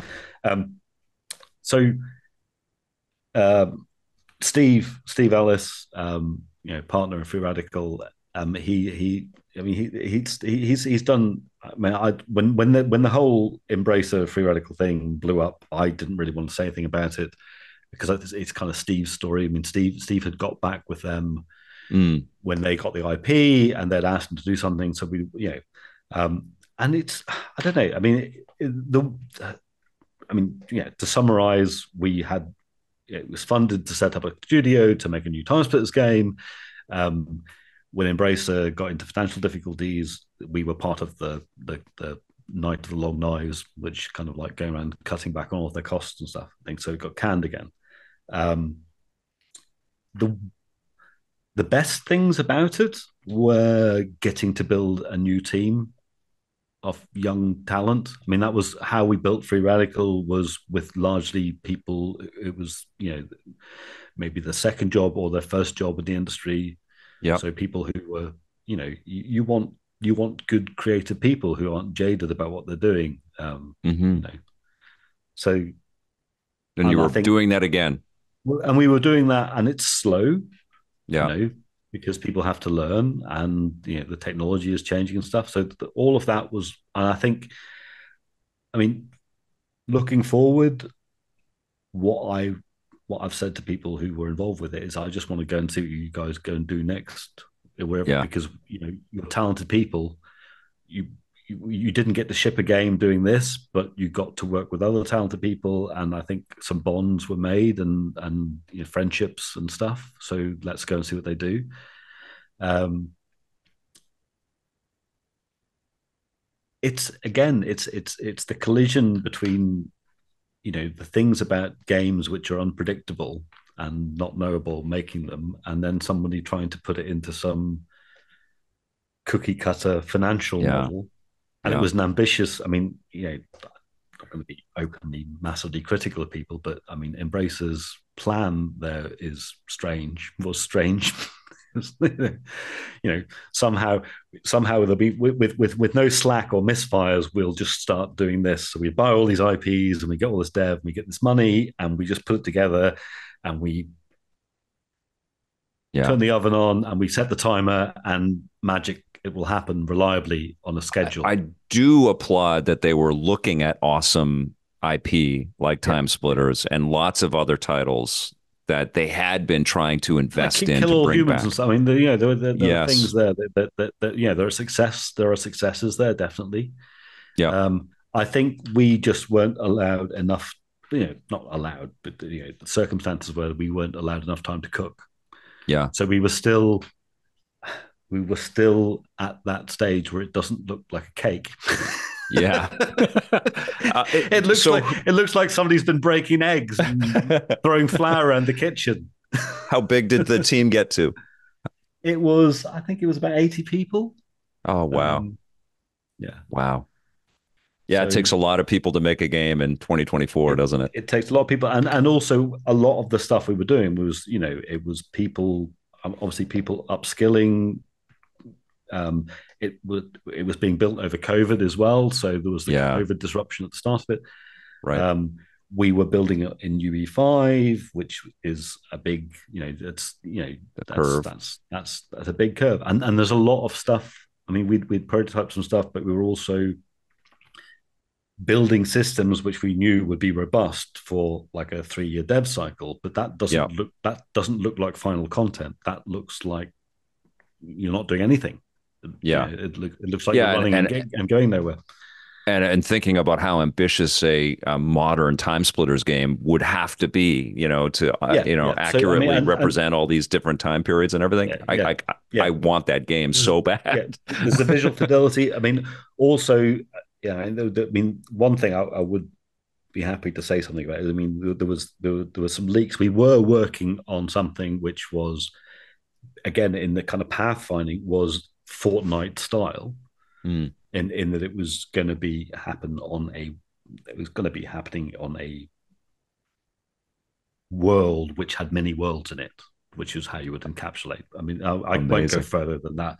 Um, yeah, I think that was that was an int- yeah that was a good idea. I think the things that became clear. I mean, things that became clear was you're not going to be able to compete with Fortnite. And like I said earlier, also those games suck the air out of the room for everyone else. So you can only do. you can yeah. only have one. There can be only one. It's like Highlander. I know. It's like there is no top fifty live service game no, no. list. You know. so, so so we we actually you know we'd we'd gone down that route, but it, it wasn't it wasn't like a one way door because we were building we were building gameplay systems which would work in different configurations in different so types cool. of games. So that's that's that that was fine, and and then in, in the latter part of it, we had pivoted to basically uh, realizing well it was kind of what steve and i had wanted to do at the start which was to, which is to reinvent time splitters 2 yeah. As a jumping off point. Um, and we had some we had some new lore we had some old lore we had tied things together loads of nice stuff. Um, it just you know it's a shame. I mean it didn't yeah. it didn't and it's kind of i think where it's got left now I mean, Steve has kind of publicly said he thinks it'd be hard for him to go back to. I think I'd find it hard as well now because yeah. it's it you know to have kind of raked over the ashes of something and then got excited about it again, and then yeah. it's like, well, you know, maybe maybe it. it I'd, I'd be happier watching someone else go somewhere with it and maybe you know with with with with a blessing or some input or you know but yeah. not to be doing it. Some know. consulting or something like that. Yeah. Um, so and, does Embracer and, and, still have the rights to everything, or yeah, do they yeah, revert? Yeah, yeah, yeah, they do. No, okay. no, no, they, they, well, they they when they they bought it all from from Crytek. Um, yeah, because Crytek had it after Free Radical went under. So right. Yeah. yeah. Do you have uh, a, a, a drive to build another team or another studio, or what are you thinking for yourself now? I you don't have to. I, am just asking. No, no, no. I mean, I, no. I mean, it's it's kind of it's it's it's it's a it, one of the things which is strange. I mean, particularly about.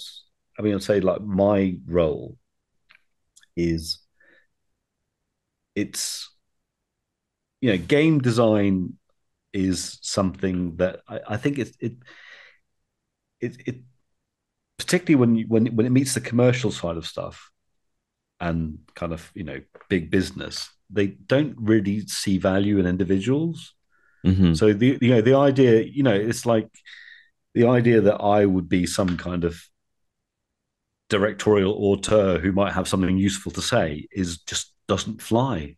You know. Yeah. Unless you're Hideo Kojima, then then, then it flies really well.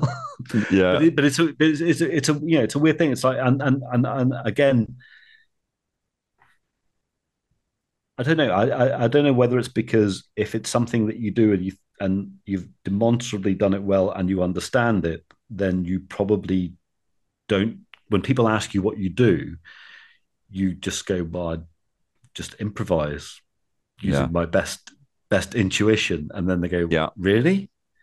That doesn't sound like a talent." It's um, problem solve. Yeah, problem solve. You know, um, and and I think also it's like it's like when you get I think if you've done a lot of it, um, you just take a lot of things for granted, and and and we're not not take things right, but you don't. You know, you'll you'll you'll be making decisions about stuff that people that people don't see. Um, mm-hmm. the, the, an example actually to draw on the kind of like more recently performing the live music and stuff and things is like with with like like Grant and and, and Dave Wise, Grant Kirkhope and Dave Wise. People don't say, "Oh, let's I'll just do the music." They they get a professional composer to do the music. Right. I, I think with things like design, that that happens. It's like, oh, you know, those guys, those you know, those producers or those people, those people who like games, they're probably they're probably be good at making them. Yeah. But you wouldn't say those people, those people who, yeah, those people who really like Frank Zappa's music, they'd probably be quite good at playing it. Yeah. Um, so there's something, you know, I, I don't know, man. I, I think there is some, you know, there's, there's a mismatch in perception of what people do mm-hmm. in in in what what I've done in my career. Um, yeah, and there's a there is this, and it, we talked touched on this a little bit, but there is this dehumanization that is happening around development, around and and what we're allowed to understand about the people that are building all of this thing, these things, as AI is sort of entering into the marketplace, which is going to further entrench this hmm. idea mm. that that jobs and roles and and assets and things can be, you know, left to machines to cre- to create. But at the same time, companies as large as PlayStation and company heads as as formidable as Phil Spencer are out there um, questioning the scale that games are at right now and how much mm. they cost and how much pressure it is to build something that is going to shake the earth and uh, satisfy all quadrants it's really tough. And I think that there is this growing appetite. I'm seeing news reports and articles about the resurgence of of um, retro playing, like for younger players as well. Mm-hmm. A lot of younger players are, you know, maybe through things like Roblox and whatever that are pulling from retro. Yep. Younger players are sort of evolving to have an interest in the simpler days of game making, and in that may exist an opportunity. And uh, who knows if it comes from you know these events that you're traveling to with your colleagues and friends and things maybe something erupts out of there where you guys collaborate on something smaller well, that's still yeah i mean I, is I, profound. As i said i mean I, working in small teams is is is very a very invigorating thing to do. Totally. Um, and and it's it's like it's like um kind of parallel. It's like look, Woody Allen films. Woody Allen always did this thing of he just had a bunch of people that he liked working with, and then they would all come back together and they would do a project, and then they all go off again. Um, yeah. I mean, yeah, it, it, the the idea of doing that in a game, but the thing about games, I mean, it's just it's there is so much material now I mean, that must be. I mean, when you like to to to to, to fall fall back to your the electronic playground stuff, you know, you look at those shows, and over the course in in in the in the nineties, over the course of a year, there probably were I don't know a dozen, twenty games off note, mm-hmm. and anyone who and and that was across genres, so anyone working in games. I mean, if you wanted to stay completely up to speed and au fait with everything that was coming on in the space, you probably had to play 20 games. And, and, and it might be an ice hockey game, it might be an RPG, it might be uh, something else, whatever, you know. Yeah. And and and you, I used to play football games. I, I don't yeah. soccer. I mean, I don't really like soccer that much, but I used to play soccer games because it was a valid games. place to look for inspiration and understand the technology and everything. Yep. Now, I mean, you know, while we've 20 games of note probably came out while we were doing this interview. well, I, maybe, maybe, yes maybe, and no. Yeah. Yeah. Because there yeah. are there there are more that come out. It's tougher to find. It's, discoverability is an issue, and there's yeah. there's yeah. Um, a, a, value proposition, you know, that's very challenged and different. Like the the uh, constraints of shipping games were much clearer back in the 90s and the 2000s. But um, there's, I mean, there's good, there, there is always good work, but, you know, it's not overwhelming in terms of scale of of cool things at the end of a year. And we've had some highlight years 20 years ago that are still fondly remembered. I think when we mm-hmm. got to the PS3 and 360 era, it was kind like before internet distribution and cell phones and digital distribution and and and, and mm. uh, uh, microtransactions and all of that stuff really kind of took a foothold in in or a toehold in the video game industry, where th- stuff was still physicalized. Yeah. But developers had evolved to a point where they were very, very savvy and the technology was really good. So it could really kind of hit the imagination that the developers had. Mm-hmm. I don't know. I think back to the PS3 360 era and it's pretty remarkable. Uh, you know, the amount of software and the amount of good software at the AA and AAA mm-hmm. level. Um, and it was really beautiful work to present on television. Now we have much more beautiful looking experiences, but there are bigger investments. There are fewer of them um, at that scale, and they're less risky, as you mentioned I, at the beginning. But, yeah, but, but those big, I I don't even play those big games. I don't have the time to play them. Yeah, and and yeah. I've I've other things I'd rather be be doing. I mean, it, yeah. it, it's it's it's it's weird because I mean, you know, in, in, my lifetime, it's gone from you know when I when I when I was you know little, I guess you know like um, young teenager, um, playing like Spectrum games and stuff, and going playing arcade stuff. You, you couldn't get enough of it. You your your appetite would voraciously consume yes. everything you could get your yes. hands on. Yes, and and the idea that now I mean, I've got a Steam Deck with probably 400 games on it. Yeah. I've got games I've bought I've never played.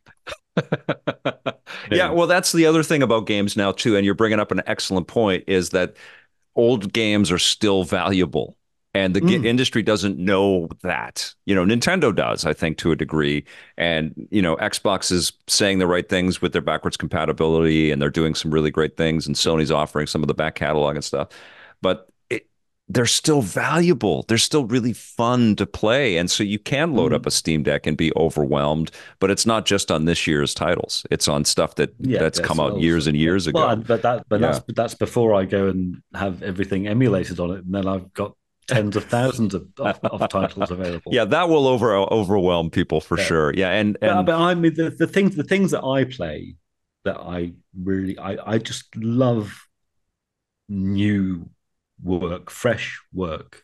Like, yeah. I mean, recently, I mean, a game that came out recently when it's already popular that Balatro, that that poker game. Yes, the card game. Yeah, and and and you look at it, and it's it's like so there's not really any technical reason that that game couldn't be made 30 years ago. Mm-hmm. It's not. It's not. You know, there are some things about you know, but but actually the the the set of game design rules that are in play there they just hadn't been discovered and, and and then there's a thread the thread that's led to those it's come from board games when you had like deck building like you know like dominion and ascension and stuff and things and that collect you know board game deck building winnowing stuff has has evolved over the last i guess that's probably about 15 15 years or something i can't remember when dominion came out so like early yeah. 2000s um, and then it's got it, it, it's it's got this really playful proposition where it's like, well, actually, you can take something which is poker, where people know people, even people who don't play poker, know what poker hands are like.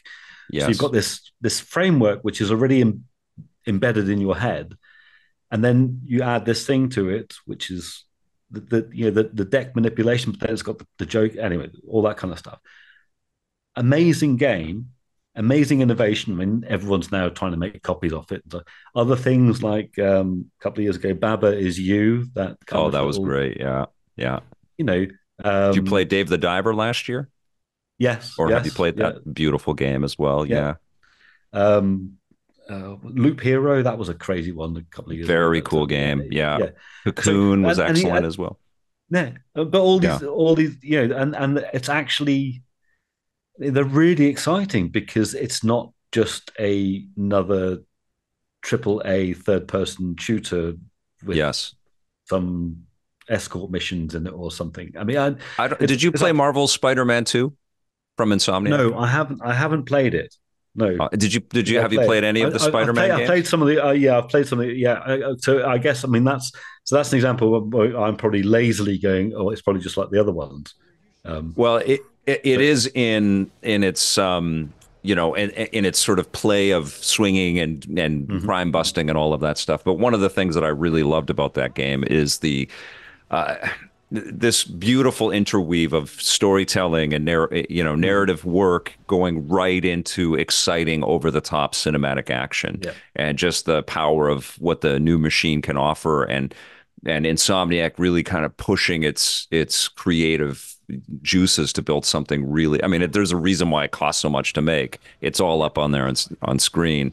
But it's also really accessible I think for anyone that is curious about what games can mean now in well, 2020. That, well, that thing, that thing uh, that, that very, very rarely happens in games, but when it's done is incredibly powerful. Is as you're saying, it's like how you know, you, know, you, you essentially you will have a story which is not it's predetermined, mm-hmm. but the actual act of walking walking the game or whatever what you, what you want to call it, I mean, going through the game it gives you a feeling of connection which you would n- never get from any other media. I mean, it's, you yeah, know, you can, you. I mean, I, I love reading, and I, I think that you know that books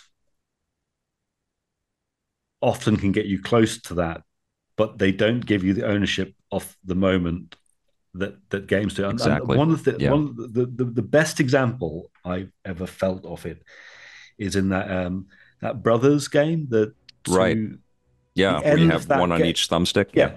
yeah, So you play the game and you get used to this kind of like patting your belly, rubbing you, rubbing you, whatever way around it is. Anyway, and and and this intimate connection between these two characters. All right, David's about to drop a big spoiler for Brothers: A Tale of Two Sons. So if you want to play that game and you don't want to hear this spoiler, skip ahead by one minute and nine seconds. And then there's a part at the end of it where one of them has died. Spoilers, sorry. Yeah. And and and and it feels like you've lost, I don't know, it's like to lose a limb, but it feels the the sense of loss is yeah. incredible because you're yeah. still you're still manipulating this ghost control. Oh, and wow. and I remember trying to describe it to people who don't play games. And it's like I, I can't describe this to you because you don't it's not like watching a film, it's not like reading a book. It's like there's a thing has happened there and you are so sucked in. And part of it also is the time that you've spent mean, we're, we're talking about games should be shorter, but you know, if you've sunk five hours into some story where you've you know you you you you've had the moments of joy and triumph and the moments of despair you are massively invested in those characters. Yes. And and and that and that's why it hits home so strongly whenever they succeed or fail in in in, in, some, in some in some big way. Um although the, i mean the flip side of that i mean uh, I, like you know how many times does sony need to remake the last of us? Well clearly a, a, a, transmedia juggernaut that borrows from uh, you know yeah. a lot of beautiful work before it and crystallizes it for for games. It, but yes it, also a, a, monetary uh, uh, yeah. low hanging fruit. But, but it's it's you know it's it, it, it it's it's such a weird thing, isn't it? Because I mean, the first one, it's it's like I I loved the first one. I've tried yes. to go back and play the other ones, and I just it's just I'm going to bounce off it because I think I'll go and do some. Why not I go and read a d- different story in a different book or watch a different film or something? Oh, and they really um, fumbled the ball with the the PC release and it not really sort of working for the Steam Deck when they released it on mm. PC. That first one. Um, but I think again, like some great stuff. But I was thinking about this, and this totally plays into what we're talking about here it, Naughty Dog has this beautiful history of selling PlayStations with this mm. proliferate collection of games. They had the Jak and Daxter and the Crash Bandicoot. Yeah, yeah. On PS3, they gave us three Uncharted games and The Last of Us. They gave us four games. They gave us, I think, just Uncharted 4 on, and The Last of Us 2 on mm. PlayStation 4. We're like, I don't know, three, four years into the PS5. We haven't got a Naughty Dog game yet. We're gonna we're gonna be lucky but, if we get but one. That's, but that's but that's because the whole cadence of the making those assets and complexity it's it's yeah. it's not it's not linear even. It's like you're mm-hmm. it's like some rpg level up. It's like now you need to get 10 times as much content to get to the next level. Yeah i know. Um, I it's mean, surreal. so yeah um and and and i mean i'm not ragging on it. Playstation 5 is the first console i haven't bought yeah. Because I couldn't get one and that kind of annoyed me. So I was like, yeah, well, I'm not going to get that. And then some games came out. I was like, well, but I, you know, I'd, I'd rather, I'd rather go and if I, if I go and, and, and spend fifty dollars buying a smattering of indie titles on Steam Deck, then I at least know that some passionate people have seen some of that reward. yeah. Yes. Yes. You know, uh, yeah, and that is definitely a, a, a, reality in game making today. Is that there's a lot of different directions uh, of like great choices. You know, mm-hmm. there is a lot of really different ways that you can go, and and uh, in terms of whatever hardware you pick up and and whatever thing you sign up for, whether it's the Steam store or you are a big uh, Nintendo fan and you pick up the Nintendo Switch Online thing and you can play all the classic games, including your beloved GoldenEye. Yeah, yeah. You know, you know what strikes me is is you were defining that where we're at now. You didn't know what you were doing with these huge, you know, way yeah, bigger than than achievable, ambitious games and interweaving story into complex mm. 3D design. It's your fault, David. That's you, you, you, you were show you were batting above you know yeah. the, the average and you were showing but, people but, what could but, be done yeah. and you inspired so many people man it's amazing what was, but what was so exciting about doing it then was that there was no you weren't looking over your shoulder at what somebody else had done it was right. just it was virgin territory yeah so it was phenomenally it was just I just it was, it was great making. I mean, it's hard work, it was, but it was great making God because we could we again with the agility of the small team as well. A thing I've said before is you could think of something in the morning and you could have tried it out by the time you went home. Although the time you went home was probably twelve o'clock midnight, but you could do that iteration, and and and that's again. I always, I mean, that's another thing which is which which collides with the business and the money. Yeah. Is the way to make good games is to iterate on something and find that you, you can't find you can't find the fun with a blank piece of paper and and, and a pencil. No, you got to play it. You got to play it. You got to feel it yeah. because that's that's what the medium is. It, it it's it's the tangibility and you know you can you can think of amazing ideas and rule sets and stuff and it can fall flat on its face or you could be doing something we've got some very very banal things. You go actually this does this and this does this. Has anyone ever connected this to this? Yeah. And you try it and it's like oh that that's really good fun. Um, and then when someone says can you you know can you can you write me a game design document and write me a costing and spec for how yeah. you're going to make this thing? It's like no. Yeah. I, I when when back in the free radical days, we'd constantly get asked about game design documents and constantly explain that we didn't really use them. We, you know, we would try to, if there was something that was worth writing down to communicate that you're going to have to explain over and over again, yes, you might write it down, um, but better to actually do it in the game. and people saying, "Why do you write game design documents?" And I said, "Well, if if I if I could write a game design document that you could then go and make a hit game with, I would be in the game design document writing business. I'd mm-hmm. just write these and sell them. I'd sell them ten million dollars a pop, mm-hmm. and then I wouldn't have to. Then I wouldn't have to do what you make it because you could go make it. It's like, well, right. that's that's why it's hard to do because it's you know, and and it gets it gets more predictable with some things. I mean, if you've done something, it's a, a sequel or a remaster or something, then obviously yes. there's an enormous amount of predictability. But yes. I think you know, for innovation, you can't schedule innovation. You can't. It's it's truly making the roads as you're making the map, mm. and it, you have to feel that the road is working. Yeah, it's beautiful. David, I'm really looking forward to whatever you're working on next. You know, and come, I love come, that come you're. come and see us play in concert. uh, that's what I think is beautiful. I think that you're in this celebration mode right now, and yeah. you're you're getting, um, you know, this this tactile sense of community and and getting a, a, sense of how many people's lives you've impacted and i think that's all beautiful and i'm excited to see where you, you celebrate that but also to see what comes out of that because i feel like there is this this uh, this next thing that we're going to be surprised by from david doak um, and well you, I, you can't i mean if you, if you enjoy creating you can't stop creating. I mean it's you it's, can't you know. You can't this has been an incredible treat for me. Thank you. Thank you so much for being in the basement with me. This is amazing. Uh, and I know we've just scratched the surface. And, uh, you know, what I've been struck by talking with you is that I need to assemble a little collection of, of veterans, and we should um, pick the topic and get into it with a bunch of mm. different voices. And so I'll I'll reach out again, but uh, I know that many fans of GoldenEye and Perfect Dark and Time Splitters and everything that you've been a, a part of are going to love listening to all of this. Uh, so thank you for being here. And thank you for watching and thank you for listening. If you are listening to this on the audio podcast, we also record all of these things for video on our YouTube channel, youtube.com slash EPNTV. And that's where you can watch classic episodes of The Electric Playground as well as all of our new stuff. We premiere fresh episodes from our seasons. We've started with the first three episodes already uh, every Saturday morning at 9 a.m. Pacific, and you can come and watch them, and, and they're premiered, so people are in the chat. And David actually jumped into the chat the other day, which was such a thrill. That was amazing. But thank you, my friend. Thank you for being here, and thank you all for tuning into Vic's Basement. We will see you soon, and until then, play forever.